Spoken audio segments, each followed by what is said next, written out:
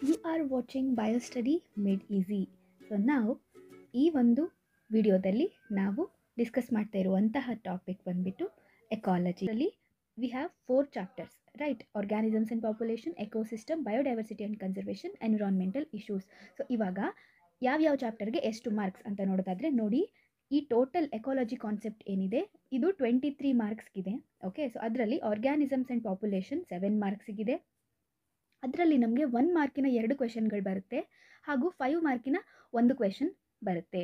ಇನ್ನು next eco ಸಿಸ್ಟಮಲ್ಲಿ ನಮಗೆ one ಮಾರ್ಕಿನ ಮೂರು ಕ್ವೆಶನ್ಗಳು ಬರ್ತಾ ಇದೆ ಹಾಗೂ ತ್ರೀ ಮಾರ್ಕ್ಸಿಂದ ಒಂದು ಕ್ವೆಶನ್ ಬರುತ್ತೆ ಟೋಟಲ್ ಸಿಕ್ಸ್ ಮಾರ್ಕ್ಸ್ ಇನ್ನು ಬಯೋಡೈವರ್ಸಿಟಿ ಆ್ಯಂಡ್ ಕನ್ಸರ್ವೇಷನ್ ಈ ಚಾಪ್ಟರ್ ಮೇಲೆ ನಮಗೆ ತ್ರೀ ಇದು ಇರೋದೇ ತ್ರೀ ಮಾರ್ಕ್ಸಿಗಿದೆ ಹಾಗೂ ಇದರಲ್ಲಿ ತ್ರೀ ಮಾರ್ಕ್ಸಿಂದ ಒಂದು ಕ್ವೆಶನ್ ಬರ್ತಾ ಇದೆ. ಓಕೆ ಇನ್ನು ಎನ್ವಿರಾನ್ಮೆಂಟಲ್ ಇಶ್ಯೂಸ್ ಈ ಚಾಪ್ಟರ್ ಅಲ್ಲಿ ನಮಗೆ ಟೂ ಮಾರ್ಕ್ಸಿಂದ ಒಂದು ಕ್ವೆಶನ್ ಬರ್ತಾ ಇದೆ ಹಾಗೂ ಫೈವ್ ಮಾರ್ಕ್ಸಿಂದ ಒಂದು ಕ್ವೆಶನ್ ಟೋಟಲ್ ಸೊ ಟೋಟಲ್ ಆಗಿ ಸೆವೆನ್ ಮಾರ್ಕ್ಸ್ ಇದೆ. ಫಾರ್ ನೌ ಇವತ್ತು ನಾವು discuss ಮಾಡ್ತಿರುವಂತಹ chapter organisms and populations important ಕ್ವೆಶನ್ಗಳು ಏನೇನೆಲ್ಲ ಕ್ವೆಶನ್ಗಳು ಬರಬಹುದು ಅಂತ ಅನ್ನೋದನ್ನು ನಾನು ಇವಾಗ ಈ ವಿಡಿಯೋದಲ್ಲಿ ಹೇಳ್ತಾ ಹೋಗ್ತೀನಿ.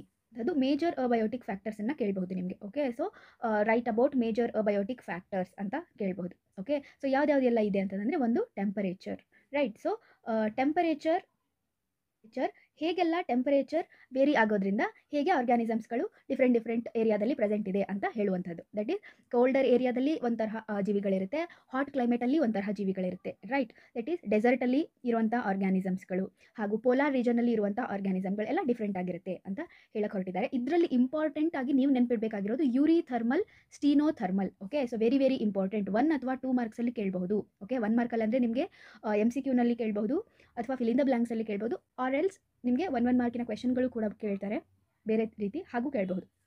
So eurythermal and stenothermal ಡಿಫರೆನ್ಸಸ್ಸನ್ನು ಕೂಡ ಕೇಳಬಹುದು ಟೂ ಮಾರ್ಕ್ಸಿಗೆ ರೈಟ್ ಸೊ ಇವಾಗ ಯೂರಿ ಥರ್ಮಲ್ ಅಂತಂದರೆ organisms which can tolerate and thrive in wide range of temperature ಅಂದರೆ ಯಾವ ಆರ್ಗ್ಯಾನಿಸಮ್ಸ್ಗಳು ವೈಡ್ ರೇಂಜ್ ಆಫ್ ಟೆಂಪರೇಚರಲ್ಲಿ ಅವುಗಳು ಸರ್ವೈವ್ ಆಗುತ್ತೆ, ಬದುಕುಳಿಯುತ್ತೆ ಅಂಥವುಗಳನ್ನು ಯುರಿಥರ್ಮಲ್ ಅಂತ ಕರೀತಾರೆ. So wide range of temperature ಅಂತಂದರೆ ಫಾರ್ ಎಕ್ಸಾಂಪಲ್ ಇವಾಗ ಫಿಫ್ಟೀನ್ ಡಿಗ್ರಿ ಸೆಲ್ಸಿಯಸ್ ಇಂದ ಹಿಡಿದು ನಮಗೆ ಅರೌಂಡ್ ಒಂದು ಫಾರ್ಟಿ ಡಿಗ್ರಿ ಸೆಲ್ಸಿಯಸ್ ಆಗೋವರೆಗೂ ಕೂಡ so this is wide range of temperature ಇವಾಗ ಹೌದಾ? ಸೊ ಇಷ್ಟು ಟೆಂಪರೇಚರ್ ಒಳಗಡೆ ಏನೇ ಫ್ಲಕ್ಚುಯೇಷನ್ಸ್ ಆದರೂ ಆ ಜೀವಿ ಬದುಕ್ತಾ ಇದೆ ಅಂದರೆ ದಟ್ ಈಸ್ ಯೂರಿ ಥರ್ಮಲ್ ಕೆಲವೊಂದಿಷ್ಟು ಆರ್ಗ್ಯಾನಿಸಮ್ಸ್ ಇರುತ್ತೆ, ಜೀವಿಗಳಿರುತ್ತೆ, ಅವುಗಳಿಗೆ ಟೆಂಪರೇಚರಲ್ಲಿ ಸ್ವಲ್ಪ ವೇರಿಯೇಷನ್ ಆದರೂ ಅವುಗಳಿಗೆ ಬದುಕೋದಕ್ಕಾಗೋದಿಲ್ಲ ಓನ್ಲಿ ನ್ಯಾರೋ ರೇಂಜಲ್ಲಿ ಇರುತ್ತೆ. ಅಂದರೆ ಫಾರ್ ಎಕ್ಸಾಂಪಲ್ ಇವಾಗ ಕೋಲ್ಡ್ ಕ್ಲೈಮೇಟಲ್ಲಿರೋ ಆರ್ಗ್ಯಾನಿಸಮ್ಸಿಗೆ ಸ್ವಲ್ಪ ಕೂಡ ಟೆಂಪ್ರೇಚರ್ ಜಾಸ್ತಿ ಆದರೆ ಅವುಗಳು ಬದುಕಲ್ಲ. ಅಥವಾ ತುಂಬ ಹಾಟ್ ಕ್ಲೈಮೇಟಲ್ಲಿ ಇರುವಂಥ ಕೆಲವೊಂದಿಷ್ಟು ಜೀವಿಗಳಿರುತ್ತೆ, ಹೌದಾ? ಸೊ ಅವುಗಳಿಗೆ ಸ್ವಲ್ಪ ಟೆಂಪ್ರೇಚರ್ ಕಡಿಮೆ ಆದರೂ ಕೂಡ ಅವುಗಳು ಬದುಕೋಲ್ಲ, ಆಯಿತಾ? ಸೊ ಆ ತರಹ which are restricted to narrow narrow range of temperature ಅಂಥ ಆರ್ಗ್ಯಾನಿಸಮ್ಸನ್ನು ಸ್ಟೀನೋ ಥರ್ಮಲ್ ಅಂತ ಕರಿತೀವಿ.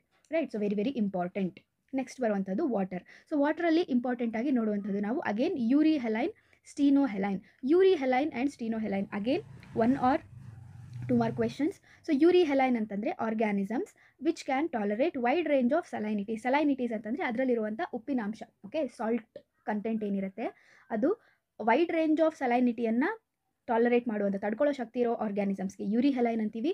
ಇಲ್ಲ which are restricted to narrow range of salinity ಅಂತಂದರೆ ಅವುಗಳಿಗೆ ಸಲೈನಿಟಿಯಲ್ಲಿ ಹೆಚ್ಚು ಕಡಿಮೆ ವ್ಯತ್ಯಾಸ ಆದರೆ ತಡ್ಕೊಳ್ಳೋದಕ್ಕೆ ಆಗದೇ ಇರುವಂತಹ ಆರ್ಗ್ಯಾನಿಸಮ್ಸನ್ನು ಸ್ಟೀನೋ ಹೆಲೈನ್ ಅಂತ ಕರಿತೀವಿ okay for example fresh water ಎನಿಮಲ್ಸ್ಗಳು ನೋಡಿ ಸಿ ವಾಟ್ರಲ್ಲಿ ಬದುಕೋಕ್ಕಾಗಲ್ಲ. ಅದೇ ತರಹ ಸಿ ವಾಟ್ರಲ್ಲಿ ಇರುವಂತಹದ್ದು ಅಂದರೆ ಮರೈನಲ್ಲಿ ಇರುವಂತಹ ಆರ್ಗ್ಯಾನಿಸಮ್ಸ್ಗಳು ಫ್ರೆಶ್ ವಾಟ್ರಲ್ಲಿ ಬದುಕೋಕ್ಕಾಗಲ್ಲ ಕೆಲವೊಂದು ಓಕೆ ಸೊ ಆ ಥರದನ್ನು ಸ್ಟೀನೋ ಹೆಲೈನ್ ಅಂತ ಕರಿತೀವಿ ರೈಟ್ ಇನ್ನು ನೆಕ್ಸ್ಟ್ ಲೈಟ್ ಸೊ ಲೈಟನ್ನು it's also a abiotic factor ಇವಾಗ ಈ ಲೈಟಿಂದ ಏನೇನು ಹೇಗೆ ಎಫೆಕ್ಟ್ ಆಗುತ್ತೆ ಅಂತಂದರೆ ದಟ್ ಈಸ್ ಫೋಟೋಸಿಂಥಸಿಸ್ ಹೌದಾ? ಸೊ ಲೈಟ್ ಪ್ಲಾಂಟ್ಸ್ಗಳಿಗೆ ಫೋಟೋಸಿಂಥಸಿಸ್ ಸಿಗಬೇಕು. ಸರಿಯಾದ ಅಮೌಂಟಲ್ಲಿ ಸಿಗಲಿಲ್ಲ ಅಂತಂದರೆ ಫೋಟೋಸಿಂಥಸಿಸ್ ಎಫೆಕ್ಟ್ ಆಗುತ್ತೆ. ಅದಲ್ಲದೆ ಪ್ಲ್ಯಾಂಟ್ಸ್ಗಳ ಫ್ಲವರಿಂಗ್ ಪಿರಿಯಡ್ ಕೂಡ ಈ ಲೈಟ್ ಮೇಲೆ ಡಿಪೆಂಡ್ ಆಗಿರುತ್ತೆ. ಓಕೆ ಫೋಟೋ ಪಿರಿಯಾಯಿಡಿಸಮ್ ಅಂತ ಕರಿತೀವಿ ನಾವು. ರೈಟ್ ಸೊ ಇದಕ್ಕೆಲ್ಲ ಲೈಟಿಂದ ವೇರಿಯೇಷನ್ ಆಗುತ್ತೆ ಆರ್ಗ್ಯಾನಿಸಮ್ಸಲ್ಲಿ ಅನ್ನುವಂಥದ್ದು. ರೈಟ್ ಇನ್ನು ನೆಕ್ಸ್ಟ್ ಇರುವಂತಹದ್ದು soil okay so soil again ಸಾಯಿಲ್ನ nature ಸಾಯಿಲಲ್ಲಿರುವಂಥ ಮಿನರಲ್ಸ್ ನ್ಯೂಟ್ರಿಯೆಂಟ್ಸ್ ಮೇಲೆ ಅಲ್ಲಿ ಬೆಳೆಯುವಂತಹ ಪ್ಲ್ಯಾಂಟ್ಸ್ಗಳು ಡಿಪೆಂಡ್ ಆಗಿರುತ್ತೆ. ಸೊ ದಟ್ ಅಲ್ಲಿನ ವೆಜಿಟೇಷನ್ ಅಲ್ಲಿನ ಎನಿಮಲ್ಸ್ಗಳು ಡಿಪೆಂಡ್ ಆಗಿರುತ್ತೆ. Right so these are all major abiotic factor so ಎಷ್ಟಿದೆ abiotic ಫ್ಯಾಕ್ಟರ್ಗಳು there are four abiotic factors temperature water light and then soil okay ಇನ್ನು ನೆಕ್ಸ್ಟ್ ಈ ಚೇಂಜಿಂಗ್ ಅಬಯೋಟಿಕ್ ಫ್ಯಾಕ್ಟರ್ಸ್ಗಳಿಗೆ ಯಾವ ರೀತಿಯಾಗಿ ರೆಸ್ಪಾನ್ಸ್ ತೋರಿಸುತ್ತೆ ಆರ್ಗ್ಯಾನಿಸಮ್ಸ್ ಅನ್ನುವಂಥದ್ದು. Okay again responses to abiotic factors important question ಹೌದಾ? So ಯಾವ ತರಹ ಜೀವಿಗಳು ಅಬಯೋಟಿಕ್ ಫ್ಯಾಕ್ಟರ್ಸ್ಗೆ ರೆಸ್ಪಾನ್ಸ್ ತೋರಿಸುತ್ತೆ ಅಂತಂದರೆ so there are responses like four ನಾಲ್ಕು ರೆಸ್ಪಾನ್ಸಸ್ಗಳಿದೆ ಓಕೆ ಸೊ ಮೊದಲನೇದು ರೆಗ್ಯುಲೇಟ್ ಅಂದರೆ ಜೀವಿಗಳು ರೆಗ್ಯುಲೇಟ್ ಮಾಡುತ್ತೆ. ರೆಗ್ಯುಲೇಟ್ ಅಂತಂದರೆ ಏನು? Maintaining the homeostasis homeostasis again one mark question ಏನು ಹೋಮಿಯೋಸ್ಟ್ಯಾಸಿಸ್ ಅಂತಂದರೆ ಬಾಡಿಯ ಇಂಟರ್ನಲ್ ಕಂಡೀಷನ್ ಏನಿರುತ್ತೆ? ದಟ್ ಈಸ್ ಬಾಡಿ ಟೆಂಪ್ರೇಚರ್ ಆಗಿರಬಹುದು ಅಥವಾ ಆಸ್ಮೋಟಿಕ್ ಕಾನ್ಸಂಟ್ರೇಷನ್ ಇರ್ಬೋದು ಅದನ್ನೆಲ್ಲ ಜೀವಿಗಳು ಕಾನ್ಸ್ಟಂಟ್ ಆಗಿ ಮೇಂಟೈನ್ ಮಾಡಬೇಕು ಓಕೆ ಸೊ ಅದನ್ನು ರೆಗ್ಯುಲೇಟ್ ಅಂತ ಕರಿತೀವಿ. ಫಾರ್ ಎಕ್ಸಾಂಪಲ್ ಇವಾಗ ನಾವು human beings okay so human beings ಹೊರಗಡೆ ಏನೇ ಟೆಂಪ್ರೇಚರ್ ಇದ್ದರೂ ಕೂಡ ಔಟ್ಸೈಡ್ ಬಾಡಿ ಒಳಗಡೆ ಏನಿರುತ್ತೆ ನಮಗೆ?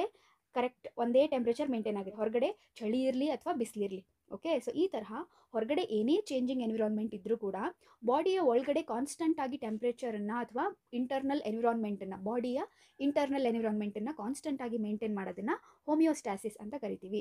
ಓಕೆ ಸೊ ಯಾವ್ದಾವುದೆಲ್ಲ ರೆಗ್ಯುಲೇಟ್ ಮಾಡುತ್ತೆ? Birds and mammals okay because they are all what they are homeothermic warm blooded animals ಇದು ಬರ್ಡ್ಸು ಮ್ಯಾಮಲ್ಸ್ ಹೌದಾ? So they can maintain their internal body temperature okay ನಾವು see constant body temperature thirty seven degree Celsius ಹೌದಾ? So ಹೇಗೆಲ್ಲ ನಾವು ಇದನ್ನು maintain ಮಾಡ್ತೀವಿ? ತುಂಬ ಸೆಕೆ ಇತ್ತಾ? ಅಥವಾ ತುಂಬ ಸಮ್ಮರ್ ಅಂತಂದರೆ ತುಂಬ ಬಿಸಿಲಿತ್ತು ಅಂದಾಗ ಏನು ಮಾಡುತ್ತೆ? ನಮ್ಮ ಬಾಡಿ ಸ್ವೆಟ್ ಆಗುತ್ತೆ ಅಂತಂದರೆ ಬೆವರ್ತೀವಿ. ಸೊ ಅದರಿಂದ ಏನಾಗುತ್ತೆ? ಎವಾಪರೇಟಿವ್ ಕೂಲಿಂಗ್ ಎಫೆಕ್ಟ್ ಆಗುತ್ತೆ. ಓಕೆ ಇನ್ನು ನೆಕ್ಸ್ಟ್ ತುಂಬ ಚಳಿ ಇದೆಯಾ? That is lower than thirty seven degree Celsius ಆಗೋಯ್ತು, ಹೊರಗಡೆನ ಟೆಂಪ್ರೇಚರ್ ಅವಾಗ ಏನು ಮಾಡ್ತೀವಿ? Our body starts to shiver ಅಂತಂದರೆ ನಡ್ಗೋದಕ್ಕೆ ಶುರುವಾಗುತ್ತೆ. ಓಕೆ ಸೊ ಈ ರೀತಿಯಾಗಿ ಬಾಡಿಯಲ್ಲಿ ಹೀಟ್ ಉತ್ಪತ್ತಿ ಆಗ್ತಾ ಇದೆ. ಓಕೆ ಕಡಿಮೆ ಆದಾಗ ಶಿವರಿಂಗ್ ಆಗಿಬಿಟ್ಟು ಹೀಟ್ ಉತ್ಪತ್ತಿ ಆಗ್ತಾ ಇದೆ. ಜಾಸ್ತಿ ಆದಾಗ ಸ್ವೆಟ್ಟಿಂಗ್ ಆಗಿಬಿಟ್ಟು ಹೀಟ್ ಕಡಿಮೆ ಆಗ್ತಾ ಇದೆ. ಓಕೆ ಸೊ ಈ ರೀತಿಯಾಗಿ ರೆಗ್ಯುಲೇಟ್ ಮಾಡುತ್ತೆ ಆರ್ಗ್ಯಾನಿಸಮ್ಸ್ ಅಂತ. ನೆಕ್ಸ್ಟ್ ಕನ್ಫರ್ಮ್ ಸೊ ಯಾವ್ಯಾವ ಜೀವಿಗಳಿಗೆಲ್ಲ ಈ ತರಹ ಮೇಂಟೈನ್ ಮಾಡೋದಕ್ಕಾಗೋದಿಲ್ಲ ರೆಗ್ಯುಲೇಟ್ ಮಾಡೋದಕ್ಕಾಗೋದಿಲ್ಲ ಅಂಥ ಆರ್ಗ್ಯಾನಿಸಮ್ಸ್ ಏನು ಮಾಡುತ್ತೆ? They adapt for conform conforming ಅಂತಂದರೆ see they can not maintain a constant internal environment ಹೌದಾ? ಸೊ ಅದಕ್ಕೆ ಏನಾಗುತ್ತೆ? Their body temperature changes with the ambient temperature ambient ಅಂದರೆ ಸುತ್ತಲೂ, ಸುತ್ತಮುತ್ತ ಇರುವಂಥ ಟೆಂಪ್ರೇಚರ್ ತಕ್ಕಂಗೆ ಅವರ ಬಾಡಿ ಟೆಂಪ್ರೇಚರ್ ಕೂಡ ಅದ್ರ ತರಹನೇ ಚೇಂಜ್ ಆಗ್ತಾ ಹೋಗುತ್ತೆ. Okay so that is conformers okay so ಇದರಲ್ಲಿ ಇಂಪಾರ್ಟೆಂಟ್ ಥಿಂಗ್ ನೋಡಿ smaller animals are rarely found in polar regions okay so ನಿಮಗೆ ಕೇಳಬಹುದು why smaller animals are rarely found in polar regions ಅಂತ ಈ ತರಹ ಕೇಳ್ಬೋದು ಹೌದಾ? ಯಾಕೆ? ಬಿಕಾಸ್ ತುಂಬ ಕೋಲ್ಡ್ ಕಂಡೀಷನ್ ಇರೋದ್ರಿಂದ ಅಲ್ಲಿ ಲೋವರ್ ಚಿಕ್ಕ ಚಿಕ್ಕ ಆರ್ಗ್ಯಾನಿಸಮ್ಸ್ ಇತ್ತು ಅಂತಂದರೆ ಸ್ಮಾಲರ್ ಆರ್ಗ್ಯಾನಿಸಮ್ಸ್ ಇತ್ತು ಅಂತಂದರೆ ಬೇಗ ಬಾಡಿಯಿಂದ ಹೀಟ್ ಲಾಸ್ ಆಗೋಗ್ಬಿಡುತ್ತೆ ಓಕೆ ಸೊ ಹಾಗಾಗಿ ಅಲ್ಲಿ ದೊಡ್ಡ ದೊಡ್ಡ ಆರ್ಗ್ಯಾನಿಸಮ್ಸ್ ಇರುತ್ತೆ. ನೋಡಿ ಪೋಲಾರ್ ರೀಜನ್ನಲ್ಲಿ ಯಾವ ತರಹ ಇರುತ್ತೆ? ಆರ್ಗ್ಯಾನಿಸಮ್ಗಳು ಪೋಲಾರ್ ಬಿಯರ್ ಅಂದರೆ ಹಿಮಕರಡಿ ಪೆಂಗ್ವಿನ್ ಈ ತರಹ ದೊಡ್ಡ ದೊಡ್ಡ ಡುಮ್ ಡುಮ್ಕಿರುವಂತಹ ಆರ್ಗ್ಯಾನಿಸಮ್ಸು ಅಲ್ಲಿ ಪ್ರೆಸೆಂಟ್ ಇರುತ್ತೆ, ಹೌದಾ? ಯಾಕೆ? To prevent the heat loss ಹೌದಾ? ಸೊ ಹೀಟ್ ಲಾಸ್ ಬೇಗ ಆಗದೆ ಇರಲಿ ಬಾಡಿಯಿಂದ ಅಂತ ಹೇಳಿ ಚಿಕ್ಕ ಚಿಕ್ಕ ಆರ್ಗ್ಯಾನಿಸಮ್ಸ್ ಅಲ್ಲಿ ಪ್ರೆಸೆಂಟ್ ಇರೋದೇ ಇಲ್ಲ ಓಕೆ ಇನ್ನು ನೆಕ್ಸ್ಟ್ ಮೈಗ್ರೇಟ್ ಹೌದಾ? ಸೊ ಮೈಗ್ರೇಟಲ್ಲಿ ಏನಾಗುತ್ತೆ ಅಂತಂದರೆ ನೋಡಿ ರೆಗ್ಯುಲೇಟ್ ಮಾಡೋರು ರೆಗ್ಯುಲೇಟ್ ಮಾಡ್ತಾರೆ ಕಾನ್ಫಾರ್ಮ್ ಮಾಡೋರು ಹೇಗೋ ಕಾನ್ಫರ್ಮ್ ಮಾಡ್ತಾರೆ. ಇವ್ರಿಗೆ ಮೈಗ್ರೇಟ್ ಸೊ ಯಾವ ಆರ್ಗ್ಯಾನಿಸಮ್ಸ್ಗೆ ಈ ತರಹ ರೆಗ್ಯುಲೇಟ್ ಮಾಡೋಕ್ಕಾಗಲ್ಲ. ಹೌದಾ? ಸೊ ನಮಗೆ ಬಾಡಿ ಟೆಂಪ್ರೇಚರನ್ನು ಹೊರಗಡೆ ಹೇಗಿದೆ ಹಾಗೆ, ನಮಗೆ ಕ ಅದನ್ನು ಮೇಂಟೈನ್ ಮಾಡೋದಕ್ಕೆ ಆಗಲ್ಲ. ಅಂದಾಗ ಏನು ಮಾಡುತ್ತೆ ಜೀವಿಗಳು? So they move away temporarily from stressful habitat to more hospitable area. ನೋಡಿ, ಫಾರ್ ಎಕ್ಸಾಂಪಲ್ ಇವಾಗ ಏನಾಗುತ್ತೆ, ಬರ್ಡ್ಸ್ ಏನು ಮಾಡುತ್ತೆ, ಬರ್ಡ್ಸ್ ಮೈಗ್ರೇಟ್, ಹೌದಾ? ಸೊ, ಬರ್ಡ್ಸು ಮೈಗ್ರೇಟ್ ಆಗುತ್ತೆ, ಫಿಶಸ್ ಕೂಡ ಮೈಗ್ರೇಟ್ ಆಗುತ್ತೆ, ಓಕೆ? ಸೊ, ಯಾಕೆ ಇವುಗಳು ವಲಸೆ ಹೋಗೋದು? ಮೈಗ್ರೇಟ್ ಅಂದ್ರೇನು ವಲಸೆ ಹೋಗೋದು, okay? So, migration, one mark question, ಏನು ಮೈಗ್ರೇಟ್ ಅಂತಂದರೆ, ಮೈಗ್ರೇಷನ್ ಅಂದರೆ organism move away temporary temporary ಆಗಿ ಸ್ವಲ್ಪ ಟೈಮ್ಗೋಸ್ಕರ ಅವುಗಳು ಬೇರೆ ಕಡೆ ಮೂವ್ ಆಗಿರುತ್ತೆ. ಫ್ರಮ್ ದ ಸ್ಟ್ರೆಸ್ಫುಲ್ ಹ್ಯಾಬಿಟೇಟ್ ಆ ಒಂದು ಹ್ಯಾಬಿಟೇಟ್ ಆ ಜಾಗದಲ್ಲಿ ಅವುಗಳಿಗೆ ಸ್ಟ್ರೆಸ್ ಇದೆ ಇರೋದಕ್ಕೆ ಆಗ್ತಾ ಇಲ್ಲ. ಅದಕ್ಕೆ ಎಲ್ಲಿಗೆ ಹೋಗ್ತಾ ಇದೆ ಅದು? They migrate to more hospitable area ಅಂತಂದರೆ ಫೇವರೇಬಲ್ ಕಂಡೀಷನ್ ಇರೋ ಕಡೆ ಅವುಗಳು ಮೂವ್ ಆಗ್ತಾ ಇದೆ. ಆ್ಯಂಡ್ ಆ್ಯಂಡ್ ವಾಟ್ ಅಲ್ಲೇ ಇರುತ್ತೆ ಅದು? No they return when stressful period is over so ಆ ಸ್ಟ್ರೆಸ್ಫುಲ್ ಪೀರಿಯಡ್ ಓವರ್ ಆದಮೇಲೆ, ಮುಗಿದ್ಮೇಲೆ ವಾಪಸ್ ಅವು ತಮ್ಮ ಮನೆಗೆ ಬರುತ್ತೆ. So that is migration okay ನಾವು ಸೊ ಹಿಯರ್ ಎಕ್ಸಾಂಪಲ್ ಈ ಕಿಯೋಲಾಡೋ ನ್ಯಾಷನಲ್ ಪಾರ್ಕ್ ಭರತ್ಪುರಲ್ಲಿ ಏನಿದೆ? That is in state Rajasthan so ಅಲ್ಲಿ ಎಷ್ಟೊಂದು ಮೈಗ್ರೇಟರಿ ಬರ್ಡ್ಸ್ಗಳು ಸೈಬೇರಿಯಾಯಿಂದ ಬರ್ತಾ ಇದೆ. ಓಕೆ ಸೊ ಸೈಬೇರಿಯಾಯಿಂದ ಏನು ಮಾಡುತ್ತೆ? ಕೋಲ್ಡ್ ಕಂಡೀಷನ್ ಅಂದರೆ ವಿಂಟರ್ ಸೀಸನ್ನಲ್ಲಿ ಅಲ್ಲಿ ತುಂಬ ಚಳಿ ಇರೋದ್ರಿಂದ ಓಕೆ ನಾರ್ತನ್ ರೀಜನ್ಸಲ್ಲಿ ಸೈಬೇರಿಯಾದಲ್ಲಿ ತುಂಬ ಚಳಿ ಇರೋದ್ರಿಂದ ಎಷ್ಟೊಂದು ಬರ್ಡ್ಸ್ಗಳು ಇಲ್ಲಿ ನಮ್ಮ ಇಂಡಿಯಾದಲ್ಲಿರುವಂತಹ ಕಿಯೋಲಾಡೋ ನ್ಯಾಷನಲ್ ಪಾರ್ಕ್ ಭರತ್ಪುರ್ಗೆ ಮೈಗ್ರೇಟ್ ಆಗಿ ಬರುತ್ತೆ ಚಳಿಗಾಲದಲ್ಲಿ. ಮತ್ತೆ ವಾಪಸ್ ಅವ್ರ ಮನೆಗೆ ಹೋಗುತ್ತೆ. That is example for migration next suspend okay so suspend ಅಂದರೆ ಏನು? ಸೊ ಈ ಜೀವಿಗಳು ಏನು ಮಾಡುತ್ತೆ ಅಂದರೆ ಅವುಗಳು ಮೈಗ್ರೇಟು ಆಗೋಕ್ಕಾಗ್ತಾ ಇಲ್ಲ, ಅವುಗಳು ಅಡಾಪ್ಟ್ ಮಾಡ್ಕೊಳ್ಳೋಕ್ಕೂ ಆಗ್ತಾ ಇಲ್ಲ ಆ ಒಂದು ಎನ್ವಿರಾನ್ಮೆಂಟಿಗೆ ಓಕೆ ಸೊ ಇಂಥ ಆರ್ಗ್ಯಾನಿಸಮ್ಸ್ಗಳು ಏನು ಮಾಡುತ್ತೆ? That is bacteria fungi lower plants ಇವುಗಳೇನು ಮಾಡುತ್ತೆ ಅಂತಂದರೆ they develop a thick walled spores okay so thick walled spores ಏನು ಮಾಡುತ್ತೆ? ಅವುಗಳನ್ನು ಅನ್ಫೇವರೇಬಲ್ ಕಂಡೀಷನಲ್ಲಿ ಅವುಗಳಿಗೆ ಬದುಕೋದಕ್ಕೆ ಹೆಲ್ಪ್ ಮಾಡುತ್ತೆ. ಫಾರ್ ಎಕ್ಸಾಂಪಲ್ ನಾವು ಅಮೀಬಾದ್ ನೋಡ್ತೀವಿ, ಹೌದಾ? ಅಮೀಬಾ ಏನು ಮಾಡ್ಕೊಳ್ಳುತ್ತೆ ಎನ್ಸಿಸ್ಟೇಷನ್ ಹೌದಾ? ಎನ್ಸಿಸ್ಟೇಷನ್ ರೈಟ್ ಒನ್ ಮಾರ್ಕಲ್ಲಿ ಇಂಪಾರ್ಟೆಂಟ್ ಕ್ವಶನ್ ಇದು ಫಸ್ಟ್ ಚಾಪ್ಟ್ರಲ್ಲಿ ಹೌದಾ? ಸೊ ಎನ್ಸಿಸ್ಟೇಷನ್ ಅಂದರೆ ಅಮೀಬಾ ಏನು ಮಾಡುತ್ತೆ? ಅನ್ಫೇವರೇಬಲ್ ಕಂಡೀಷನ್ ಇದ್ದಾಗ ತನ್ನ ಸುತ್ತಲೂ ಒಂದು ಸಿಸ್ಟನ್ನ ಫಾರ್ಮೇಷನ್ ಮಾಡ್ಕೊಳ್ಳೋದು. ಹಾ, ಈ ಆರ್ಗನಿಸಮ್ಸ್ ಏನು ಮಾಡುತ್ತೆ? ಅವುಗಳ ಸುತ್ತಲೂ ಥಿಕ್ ವಾಲ್ಡ್ ಸ್ಪೋರ್ಸನ್ನು ಅವುಗಳು ಏನು ಮಾಡುತ್ತೆ? ಫಾರ್ಮೇಷನ್ ಮಾಡ್ಕೊಳ್ಳುತ್ತೆ. ಓಕೆ? ಇನ್ನು ಕೆಲವೊಂದು ಆರ್ಗ್ಯಾನಿಸಮ್ಸ್ ಏನು ಮಾಡುತ್ತೆ? Dormancy okay? ಸೊ ಈ ಡಾರ್ಮೆನ್ಸಿ ವರ್ಡನ್ನು ನಾವು ಸೀಡ್ಸಲ್ಲಿ ನೋಡ್ತೀವಿ, ಹೌದಾ? ಪ್ಲಾಂಟ್ಸ್ಗಳೇನು ಮಾಡುತ್ತೆ? ಸೀಡ್ಸ್ ಪ್ರೊಡ್ಯೂಸ್ ಮಾಡುತ್ತಲ್ವಾ? ಸೊ ಅವುಗಳಲ್ಲಿ they reduce their metabolic activity so metabolic ಆಕ್ಟಿವಿಟಿಯನ್ನು ಆ ಸೀಡ್ಸಲ್ಲಿ ಕಡಿಮೆ ಆಗಿರುತ್ತೆ, ಓಕೆ? ಸೊ ಯಾವಾಗ ಅವುಗಳಿಗೆ ಫೇವರೇಬಲ್ ಕಂಡೀಷನ್ ಸಿಗುತ್ತೆ? ಫೇವರೇಬಲ್ ಕಂಡೀಷನ್ ಅಂದರೆ ಅವ್ರಿಗೆ ಬೇಕಾಗಿರುವಂಥ ನೀರು, ನೆಲ ಎಲ್ಲ ಕರೆಕ್ಟಾಗಿ ಸಿಕ್ಕಾಗ ಅಲ್ಲಿ ಅವುಗಳು ಮೊಳಕೆ ಹೊಡೆಯುತ್ತೆ ಹೌದಾ? ಸೊ ಅಲ್ಲಿವರೆಗೂ ಏನಾಗಿರುತ್ತೆ? ಅವುಗಳಲ್ಲಿ ಮೆಟಬಾಲಿಕ್ ಆಕ್ಟಿವಿಟಿ ಆಗ್ತಾ ಇರಲ್ಲ. ದಟ್ ಈಸ್ ಡಾರ್ಮೆನ್ಸಿ ನೆಕ್ಸ್ಟ್ ಎನಿಮಲ್ಸಲ್ಲಿ ಯಾವ ತರಹ ಆಗುತ್ತೆ ಇದು ಅಂತ ನೋಡೋದಾದ್ರೆ so ವಿಂಟರಲ್ಲಿ hibernation very very important questions from this chapter aestivation ಮತ್ತು ಹೈಬರ್ ಹೈಬರ್ನೇಷನ್ ಕೇಳ್ತಾರೆ, ಆಯಿತಾ? ಸೊ ಒನ್ ಒನ್ ಮಾರ್ಕಲ್ಲಿ ಇಂಪಾರ್ಟೆಂಟ್ ಇವುಗಳು. ಎಸ್ಟಿವೇಷನ್ ಅಂತಂದರೆ ವಿಂಟರ್ ಸೀಸನ್ನಲ್ಲಿ ಆರ್ಗ್ಯಾನಿಸಮ್ಸು ಆ ಒಂದು ವಿಂಟರನ್ನು ಎಸ್ಕೇಪ್ ಆಗೋದಕ್ಕೆ ಓಕೆ ಸೊ ಆ ಒಂದು ಚಳಿಗಾಲದಿಂದ ತಪ್ಪಿಸ್ಕೊಳ್ಳೋದಕ್ಕೆ ಏನು ಮಾಡುತ್ತೆ? ಅವುಗಳು ವಿಂಟರ್ ಸ್ಲೀಪಿಗೆ ಹೋಗುತ್ತೆ. ವಿಂಟರ್ ಸ್ಲೀಪ್ ಅಂತಂದರೆ ಇನ್ಆಕ್ಟಿವ್ ಆಗೋದು. ಆಯಿತಾ? ಸುಮ್ಮನೆ ಮನೇಲಿ ಕೂತ್ಕೊಳ್ಳೋದು. ಚಳಿ ಇದೆ ಅಂತ ಹೇಳಿ ಹೊರಗಡೆ ಬರೋದೇ ಇಲ್ಲ ಆ ಜೀವಿಗಳು. ಓಕೆ ದಟ್ ಈಸ್ ಹೈಬರ್ನೇಷನ್ ಇನ್ನೊಂದು ಏಸ್ಟಿವೇಷನ್ ಅಲ್ಲಿ ಏನಾಗುತ್ತೆ? ಟು ಅವಾಯ್ಡ್ ಸಮ್ಮರ್ ಅಂದರೆ ತುಂಬ ಬಿಸಿಲಿದೆ, ತುಂಬ ಸೆಕೆ ಇದೆ, ತುಂಬ ಟೆಂಪರೇಚರ್ ಇದೆ ಅಂತ ಹೇಳಿ ಆ ಟೈಮಲ್ಲಿ ಆರ್ಗಾನಿಸಮ್ಸ್ ಏನು ಮಾಡುತ್ತೆ? ಅವಾಗ ಮನೆಯಿಂದ ಹೊರಗೆ ಬರಲ್ಲ. They are in rest condition okay so ಅದನ್ನು ಏಸ್ಟಿವೇಷನ್ ಅಂತ ಕರಿತೀವಿ. So remember don't get confused hibernation ವಿಂಟರ್ಗೆ aestivation ಸಮ್ಮರ್ಗೆ ಓಕೆ ಸೊ ಹೇಗೆ ನೆನ್ಪಿಟ್ಕೊಳ್ಳಿ ಅಂತಂದರೆ ಸಿ ಆರ್ ಇದೆ. R for winter okay so R for winter hibernation ವಿಂಟರಲ್ಲಿ aestivation S for summer okay so S for summer aestivation in summer okay ಇನ್ನೊಂದು next ಇನ್ನೊಂದು ಒಂದು technique ಇದೆ that is diapause okay so diapause ಅಂತಂದರೆ it is suspended development okay again one mark question diapause ಈ diapause ಯಾರಲ್ಲಿ ಕಂಡು ಬರುತ್ತೆ ಅಂದರೆ ಝೂ ಪ್ಲಾಂಕ್ಟಾನ್ಸ್ಗಳು ಓಕೆ ಸೊ ಈ ಝೂ ಪ್ಲಾಂಕ್ಟಾನ್ಸ್ ಏನು ಮಾಡುತ್ತೆ ಅಂತಂದರೆ ಅವುಗಳಿಗೆ ಲೇಕ್ಸ್ ಅಥವಾ ಪಾಯಿಂಟ್ಸಲ್ಲಿ ಓಕೆ ಅಂದರೆ ಕೆರೆಯಲ್ಲಿ ಅವುಗಳಿಗೆ ಅನ್ಫೇವರೇಬಲ್ ಕಂಡೀಷನ್ ಇದ್ದಾಗ ಓಕೆ ಅವುಗಳಿಗೆ ಬದುಕೋದಕ್ಕೆ ಫೇವರೇಬಲ್ ಕಂಡೀಷನ್ ಇಲ್ಲದೆ ಇದ್ದಾಗ ಏನು ಮಾಡುತ್ತೆ? ಅವುಗಳು ಡಯಾಪಾಸಿಗೆ ಹೋಗುತ್ತೆ ಓಕೆ ಸೊ ಇದು ಕೂಡ ಏನು ಒಂಥರ resting condition right so diapause diapause zoo ಪ್ಲಾಂಕ್ಟಾನ್ಸಲ್ಲಿ ಹೈಬರ್ನೇಷನ್ ಎಸ್ಟಿವೇಷನ್ ಎನಿಮಲ್ಸಲ್ಲಿ ಡಾರ್ಮೆನ್ಸಿ ಪ್ಲಾಂಟ್ಸ್ನ ಸೀಡ್ಸಲ್ಲಿ ಓಕೆ ಸೊ ಇದಿಷ್ಟು ಏನು ಅಂತಂದರೆ ಸಸ್ಪೆಂಡ್ ಹೌದಾ? ಸಸ್ಪೆಂಡ್ ಅಂತಂದ್ರೆ ಏನು? ಇವಾಗ ಸಸ್ಪೆಂಡ್ ಅಂದರೆ ಏನು? ಸುಮ್ಮನೆ ಮನೇಲಿ ಕೂಡೋದು, ಹೌದಾ? So that is suspend next adaptation so adaptation ಅಂತಂದರೆ ಏನು okay so one mark question adaptation ಅಂದರೆ is any attribute of organism ಅಂದರೆ ಯಾವ ಒಂದು character of organism that is morphological ಇರಬಹುದು ಫಿಸಿಯೋಲಾಜಿಕಲ್ ಇರಬಹುದು ಬಿಹೇವಿಯರಲ್ಲಿ ಇರಬಹುದು. ಓಕೆ ಸೊ ಆ ಒಂದು ಕ್ಯಾರೆಕ್ಟರ್ ಏನು ಮಾಡ್ತಾ ಇದೆ? ಆರ್ಗ್ಯಾನಿಸಮನ್ನು that enables the organism to survive and reproduce in its habitat okay ಅದೇ ಜಾಗದಲ್ಲಿ ಇದ್ಕೊಂಡು ಆ ಒಂದು ಜೀವಿ ಅಲ್ಲಿ ಸರ್ವೈವ್ ಕೂಡ ಆಗಬೇಕು ಹಾಗೂ ರಿಪ್ರೊಡ್ಯೂಸ್ ಕೂಡ ಮಾಡಬೇಕು. ಓಕೆ ಸೊ ಈ ತರಹ ಅದಕ್ಕೆ ಎನೇಬಲ್ ಮಾಡುವಂತಹ ಕ್ಯಾರೆಕ್ಟರ್ಗಳು ಅಟ್ರಿಬ್ಯೂಟ್ ಏನಿದೆ ಅದನ್ನೇ ನಾವು ಅಡಾಪ್ಟೇಷನ್ ಅಂತ ಕರಿತೀವಿ ಓಕೆ ಸೊ ಇದರಲ್ಲಿ ನಿಮಗೆ ವೆರಿ ವೆರಿ ಇಂಪಾರ್ಟೆಂಟ್ ನಿಮಗೆ ಅಡಾಪ್ಟೇಷನ್ ಯಾವ್ದಾವ್ದು ಯಾವ ತರಹ ಅಡಾಪ್ಟ್ ಆಗಿದೆ ಅನ್ನೋದು ತುಂಬ ಇಂಪಾರ್ಟೆಂಟ್ ನೋಡಿ, ಈ ಚಾಪ್ಟ್ರಲ್ಲಿ ನಿಮಗೆ ಎಕ್ಸಾಂಪಲ್ಸ್ಗಳೇ ಮೇನ್ ಓಕೆ ಎಕ್ಸಾಂಪಲ್ಸೇ ಇಂಪಾರ್ಟೆಂಟ್ ಇದರಲ್ಲಿ, ಆಯಿತಾ? ನೋಡಿ ಡೆಸರ್ಟ್ ಪ್ಲಾಂಟ್ಸ್ಗಳು ಹೇಗೆ ಅಡಾಪ್ಟ್ ಆಗಿದೆ ಅಂದರೆ ಅವುಗಳಿಗೆ ಥಿಕ್ ಕ್ಯೂಟಿಕಲ್ ಇರುತ್ತೆ, ಎಲೆ ಮೇಲೆ ಥಿಕ್ ಕ್ಯೂಟಿಕಲ್ ಇರುತ್ತೆ ಓಕೆ ಹಾಗೂ ಸ್ಟೊಮ್ಯಾಟೋಗಳೇನಿರುತ್ತೆ ಅವುಗಳು ಸಂಕನ್ ಇರುತ್ತೆ okay so this is epidermis ಅಂತಂದರೆ ಸ್ಟೊಮ್ಯಾಟೋಗಳೇನಿರುತ್ತೆ ಈ ತರಹ they are sunken okay? So ಈ ತರಹ they are sunken in the tissue ಹೌದಾ? ಸೊ ಏನಾಗ್ಬಿಟ್ಟಿರುತ್ತೆ? ಅವುಗಳು ಈ ಥರ ಒಳಗಡೆ sink ಆಗಿಬಿಟ್ಟಿರುತ್ತೆ. Okay? So that is sunken stomata ಇದರಿಂದ ವಾಟರ್ ಲಾಸು ಕಡಿಮೆ ಆಗುತ್ತೆ. ಇನ್ನು ನೆಕ್ಸ್ಟ್ ಕ್ಯಾಂಪ್ ಪಾತ್ವೆನ ಅಡಾಪ್ಟ್ ಮಾಡ್ಕೊಂಡಿರುತ್ತೆ ಪ್ಲಾಂಟ್ಸ್ಗಳು ಕ್ಯಾಂಪ್ ಪಾತ್ವೆ ಅಂತಂದ್ರೆ ಏನು? Okay? Again one mark question camp pathway ಅಂದ್ರೇನು ಸ್ಟೊಮ್ಯಾಟಾಗಳು ಡೇ ಟೈಮಲ್ಲಿ ಮುಚ್ಚಿರುತ್ತೆ. ಓಕೆ? ಸೊ ಸ್ಟೊಮ್ಯಾಟಾಗಳು ಡೇ ಟೈಮಲ್ಲಿ ಮುಚ್ಚಿರುತ್ತೆ. ಓಕೆ? ನೈಟ್ ಟೈಮಲ್ಲಿ ಮಾತ್ರ ಓಪನ್ ಆಗುತ್ತೆ. ಅದನ್ನು ಕ್ಯಾಂಪ್ ಪಾತ್ವೆ ಅಂತ ಕರಿತೀವಿ. ಇನ್ನು ನೆಕ್ಸ್ಟ್ ಪಾಪಸ್ಗಳಿ ತರಹ, ಒಪುನ್ಶಿಯಾ ತರಹ ಇರೋ ಪ್ಲಾಂಟ್ಸ್ಗಳು ಏನು ಮಾಡುತ್ತೆ? ಅವುಗಳಿಗೆ ಲೀವ್ಸೇ ಇರೋದಿಲ್ಲ. ಹೌದಾ? ಸೊ ನೋಡಿ ಅವುಗಳಿಗೆ ಎಲೆನೇ ಇರೋದಿಲ್ಲ. ಏನಿರುತ್ತೆ? ಬರೀ ಮುಳ್ಳು ರೈಟ್ ಸೊ ಮುಳ್ಳು. ಈ ಮುಳ್ಳುಗಳೇ ಏನು? ಎಲೆಗಳು. ಹೌದಾ? So this is another adaptation ಹೌದಾ? ನೆಕ್ಸ್ಟ್ ಮ್ಯಾಮಲ್ಸ್ಗಳು ಕೋಲ್ಡ್ ಕ್ಲೈಮೇಟಲ್ಲಿರುವಂಥ ಮ್ಯಾಮಲ್ಸ್ ಹೇಗೆ ಅಡಾಪ್ಟ್ ಆಗಿರುತ್ತೆ? That is they have shorter ears and limbs okay so ಅವುಗಳ ಕಿವಿ ಮತ್ತು ಕೈಕಾಲುಗಳು ಹೇಗಿರುತ್ತೆ? ತುಂಬ ಚಿಕ್ಕ ಚಿಕ್ಕದಾಗಿರುತ್ತೆ. ಫಾರ್ ಎಕ್ಸಾಂಪಲ್ ನೀವು ಪೆಂಗ್ವಿನ್ನನ್ನೇ ನೋಡಿದೆ ನೋಡಿ ಪೆಂಗ್ವಿನ್ ಯಾವ ತರಹ ಇರುತ್ತೆ? ಈ ತರಹ ಪೆಂಗ್ವಿನ್ ಇರುತ್ತೆ. ಹೌದಾ? ಸೊ ಈ ತರಹ ಪೆಂಗ್ವಿನ್ನಿಗೆ ನೋಡಿ ಅದ್ರ ಕೈ ಕಾಲೆಲ್ಲ ಇರುತ್ತೆ ಇಷ್ಟೇ ಇರುತ್ತೆ ರೈಟ್ ಸೊ ಇಷ್ಟೇ ಇರುತ್ತೆ ಪೆಂಗ್ವಿನಿನ ಕೈ ಕಾಲುಗಳು. ಚಿಕ್ಕ ಚಿಕ್ಕದಿರುತ್ತೆ ಬಾಡಿ ದೊಡ್ಡದಿರುತ್ತೆ ಓಕೆ ಇದನ್ನ ಏನಂತ ಕರೀತಾರೆ? Allen's rule very very important one mark question what is Allen's rule Allen's rule ಅಂದರೆ ಏನು?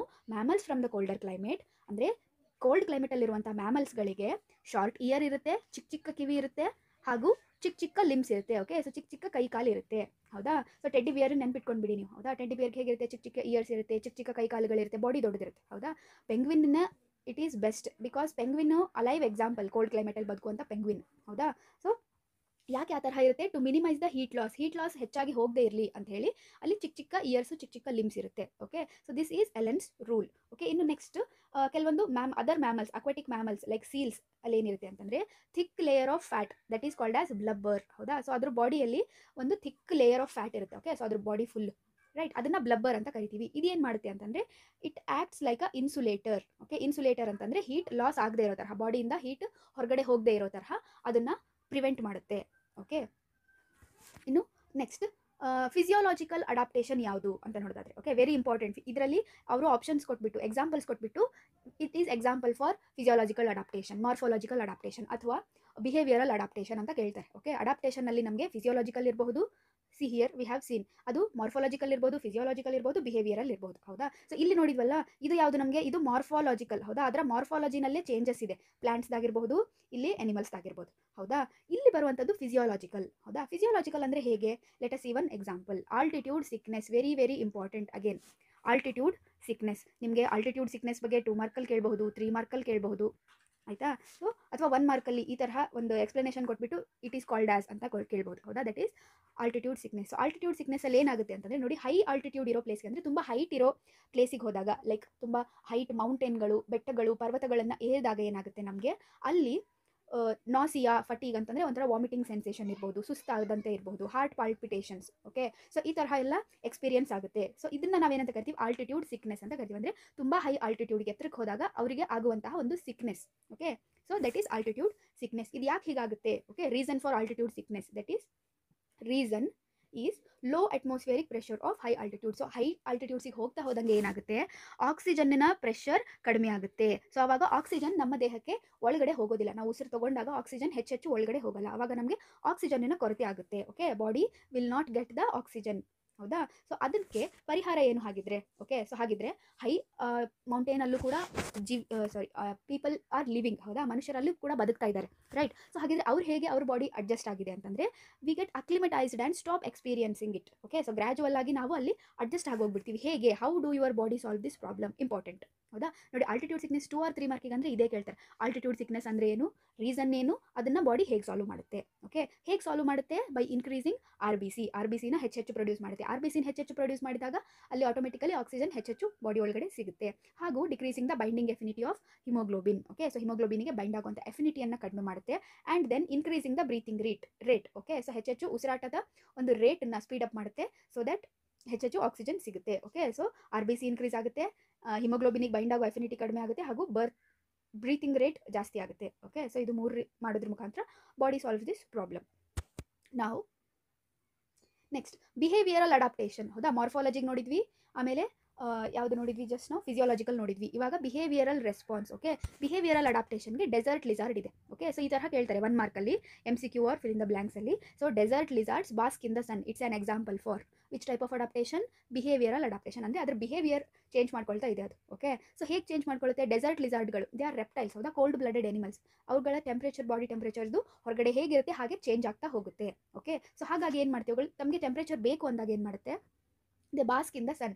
Basking in the sun ಅಂತಂದರೆ ಹೋಗಿ ಬಿಸಿಲಿಗೆ ಆರಾಮಾಗಿ ಕೂತ್ಕೊಳ್ಳುತ್ತೆ. ಓಕೆ ಸೊ ಲಿಸಾರ್ಡ್ಗಳೇನು ಮಾಡುತ್ತೆ? ಹೋಗಿ ಬಿಸಿಲಿಗೆ ಆರಾಮಾಗಿ ಕೂತ್ಕೊಳ್ಳುತ್ತದೆ. ಹೌದಾ? ಸೊ ಸನ್ ಬಿಸಿಲಿಗೆ ಆರಾಮಾಗಿ ಕೂತ್ಕೊಳ್ಳುತ್ತೆ. ಎಷ್ಟು ಬೇಕು ಅಷ್ಟು ಟೆಂಪ್ರೇಚರ್ ಜಾಸ್ತಿ ಆದಮೇಲೆ absorb heat when their body temperature drops below the comfort zone temperature ಕಡಿಮೆ ಆದಾಗ ಸೂರ್ಯನ ಬಿಸಿಲಿಗೆ ಹೋಗಿ ಬಿಸಿಲು ತೊಗೊಂಡ್ಬಿಟ್ಟು ಟೆಂಪ್ರೇಚರ್ ಜಾಸ್ತಿ ಮಾಡ್ಕೊಳ್ಳುತ್ತೆ ಹೀಟ್ ಮಾಡ್ಕೊಳ್ಳುತ್ತೆ. ಆಮೇಲೆ ಮತ್ತೆ ಜಾಸ್ತಿ ಆಯಿತು, ತುಂಬ ಬಿಸಿಲಾಯಿತು ಅಂದ ತಕ್ಷಣ ಏನು ಮಾಡುತ್ತೆ? They move into shade when the ambient temperature starts increasing okay so ತುಂಬ ಜಾಸ್ತಿ ಬಿಸಿಲು ಬಿದ್ದಾಗ ಏನು ಮಾಡುತ್ತೆ? ವಾಪಸ್ ಏನು ಮಾಡುತ್ತೆ? ಹೋಗಿ ಅವುಗಳು ಬಚ್ಚಿಟ್ಕೊಳ್ಳುತ್ತೆ okay that is they move to shade ಅಂದರೆ ನೆರಳಿಗೆ ಹೋಗುತ್ತೆ okay so it's a behavioural adaptation sun basking ಅಂತ ಕರೀತಾರೆ ಇದನ್ನು it is called as sun basking ಅಡಾಪ್ಟೇಷನ್ಗಳು ತುಂಬ ಇಂಪಾರ್ಟೆಂಟ್ ಮಾರ್ಫಾಲಜಿಕಲ್ ಫಿಸಿಯಾಲಜಿಕಲ್ ಬಿಹೇವಿಯರಲ್ ಏನೇನು ಎಕ್ಸಾಂಪಲ್ ಇದೆ ಎಲ್ಲ ನೋಡ್ಕೊಳ್ಳಿ. Next population attribute so population ಅಟ್ರಿಬ್ಯೂಟಲ್ಲಿ ನಿಮಗೆ ಇಂಪಾರ್ಟೆಂಟ್ ಇರುವಂತಹದ್ದು ಸಿ ಸೆಕ್ಸ್ ರೇಷಿಯೋ ಅಂತಂದರೆ ಏನು? ಸೆಕ್ಸ್ ರೇಷಿಯೋ ಅಂತಂದರೆ male is to female ratio ಅಂತಂದರೆ ಒಂದು ಏರಿಯಾದಲ್ಲಿ ಎಷ್ಟು ಮೇಲ್ ಇದ್ದಾರೆ ಎಷ್ಟು ಫೀಮೇಲ್ ಇದ್ದಾರೆ ಅನ್ನೋದೇ sex ratio okay next age pyramid so age pyramid ಅಂತಂದರೆ age distribution is plotted for the population okay so ಒಂದು ಪಾಪ್ಯುಲೇಷನ್ನಲ್ಲಿ ಏಜ್ ಡಿಸ್ಟ್ರಿಬ್ಯೂಷನ್ ಅಂತಂದರೆ ಚಿಕ್ಕ ಮಕ್ಕಳು ಎಷ್ಟು ಜನ ಇದ್ದಾರೆ ಆಯಿತಾ? ಆಮೇಲೆ ನೆಕ್ಸ್ಟ್ ಅಡಲ್ಟ್ಸ್ ಎಷ್ಟು ಜನ ಇದ್ದಾರೆ ವಯಸ್ಸಾದವ್ರು ಎಷ್ಟು ಜನ ಇದ್ದಾರೆ ಅಂತ ಅನ್ನೋದನ್ನ ಪ್ಲಾಟ್ ಮಾಡಿದಾಗ ನಮ್ಗೆ ಏನು ಸಿಗುತ್ತೆ? ಒಂದು ಪಿರಾಮಿಡ್ ಸಿಗುತ್ತೆ. ಓಕೆ ಸೊ ಅದನ್ನೇ ಏಜ್ ಪಿರಾಮಿಡ್ ಅಂತ ಕರೀತಾರೆ. ಓಕೆ ಇನ್ನು ಈ ಶೇಪ್ ಆಫ್ ದ ಪಿರಾಮಿಡ್ ಮೇಲೆ ನಮಗೆ ಆ ಒಂದು ಪಾಪ್ಯುಲೇಷನ್ ಗ್ರೋತ್ ಆಗ್ತಾ ಇದೆಯಾ? ಅಥವಾ ಸ್ಟೇಬಲ್ ಆಗಿದೆಯಾ? ಅಥವಾ ಡಿಕ್ಲೈನ್ ಆಗ್ತಾ ಇದೆಯಾ? ಅನ್ನೋದು ಗೊತ್ತಾಗುತ್ತೆ. ಓಕೆ ಶೇಪ್ ಮೇಲೆ. ಹೇಗೆ? Let us see so three types of age pyramids ಇದೆ. ಒಂದು ಎಕ್ಸ್ಪ್ಯಾಂಡಿಂಗ್ ಇನ್ನೊಂದು ಸ್ಟೇಬಲ್ ಇನ್ನೊಂದು ಡಿಕ್ಲೈನಿಂಗ್ ಓಕೆ ಸೊ ಎಕ್ಸ್ಪ್ಯಾಂಡಿಂಗ್ ಅಲ್ಲಿ ಏನಾಗುತ್ತೆ ನಮಗೆ ನೋಡಿ ಪ್ರೀ ರಿಪ್ರೊಡಕ್ಟಿವ್ ಏಜಸ್ ಅಲ್ಲಿ. ಸೊ ಪ್ರೀ ರಿಪ್ರೊಡಕ್ಟಿವ್ ಏಜಸ್ ಅಂದ್ರೆ ಏನು? ಚಿಲ್ಡ್ರನ್ ಹೌದಾ? ಪ್ರೀ ರಿಪ್ರೊಡಕ್ಟಿವ್ ಏಜಸ್ ಅಂದ್ರೆ ಏನು? ಚಿಲ್ಡ್ರನ್ ಅಂದ್ರೆ ಇನ್ನೂ ರಿಪ್ರೊಡಕ್ಟಿವ್ ಏಜಿಗೆ ಬಂದಿಲ್ಲ ಚಿಕ್ಕ ಮಕ್ಕಳು. ಸೊ ಚಿಕ್ಕ ಮಕ್ಕಳು ಯಾವ ಪಾಪ್ಯುಲೇಷನ್ ಅಲ್ಲಿ ಜಾಸ್ತಿ ಇರ್ತಾರೆ? ಓಕೆ ಸೊ ಆ ಒಂದು ಪಾಪ್ಯುಲೇಷನ್ ಎಕ್ಸ್ಪ್ಯಾಂಡ್ ಆಗ್ತಾ ಇರುತ್ತೆ. ಯಾಕೆ ಹೇಳಿ? ನೆಕ್ಸ್ಟ್ ಇಲ್ಲಿ ನೋಡಿ ರಿಪ್ರೊಡಕ್ಟಿವ್ ಏಜ್ ರಿಪ್ರೊಡಕ್ಟಿವ್ ಏಜ್ ಅವರು ಅಂದ್ರೆ ಅಡಲ್ಟ್ಸ್ ಹೌದಾ? ದೊಡ್ಡವರು ಇಷ್ಟು ಜನ ಇದ್ದಾರೆ. ನೆಕ್ಸ್ಟ್ ಪೋಸ್ಟ್ ರಿಪ್ರೊಡಕ್ಟಿವ್ ಅವ್ರು ನೋಡಿ ಕಡಿಮೆ ಇದ್ದಾರೆ. ಅಂತಂದ್ರೆ ವಯಸ್ಸಾದವ್ರು ಕಡಿಮೆ ಇದ್ದಾರೆ. ಹೌದಾ? ಸೊ ವಯಸ್ಸಾದವ್ರು ಇವಾಗ ಒಂದು ಟ್ವೆಂಟಿ ಇಯರ್ಸ್ ಆದ್ಮೇಲೆ ಏನಾಗುತ್ತೆ? ಇವ್ರು ಸತ್ತು ಹೋಗ್ತಾರೆ. ಹೌದಾ? ನೆಕ್ಸ್ಟ್ ಅಡಲ್ಟ್ಸ್ ಏನಾಗ್ತಾರೆ?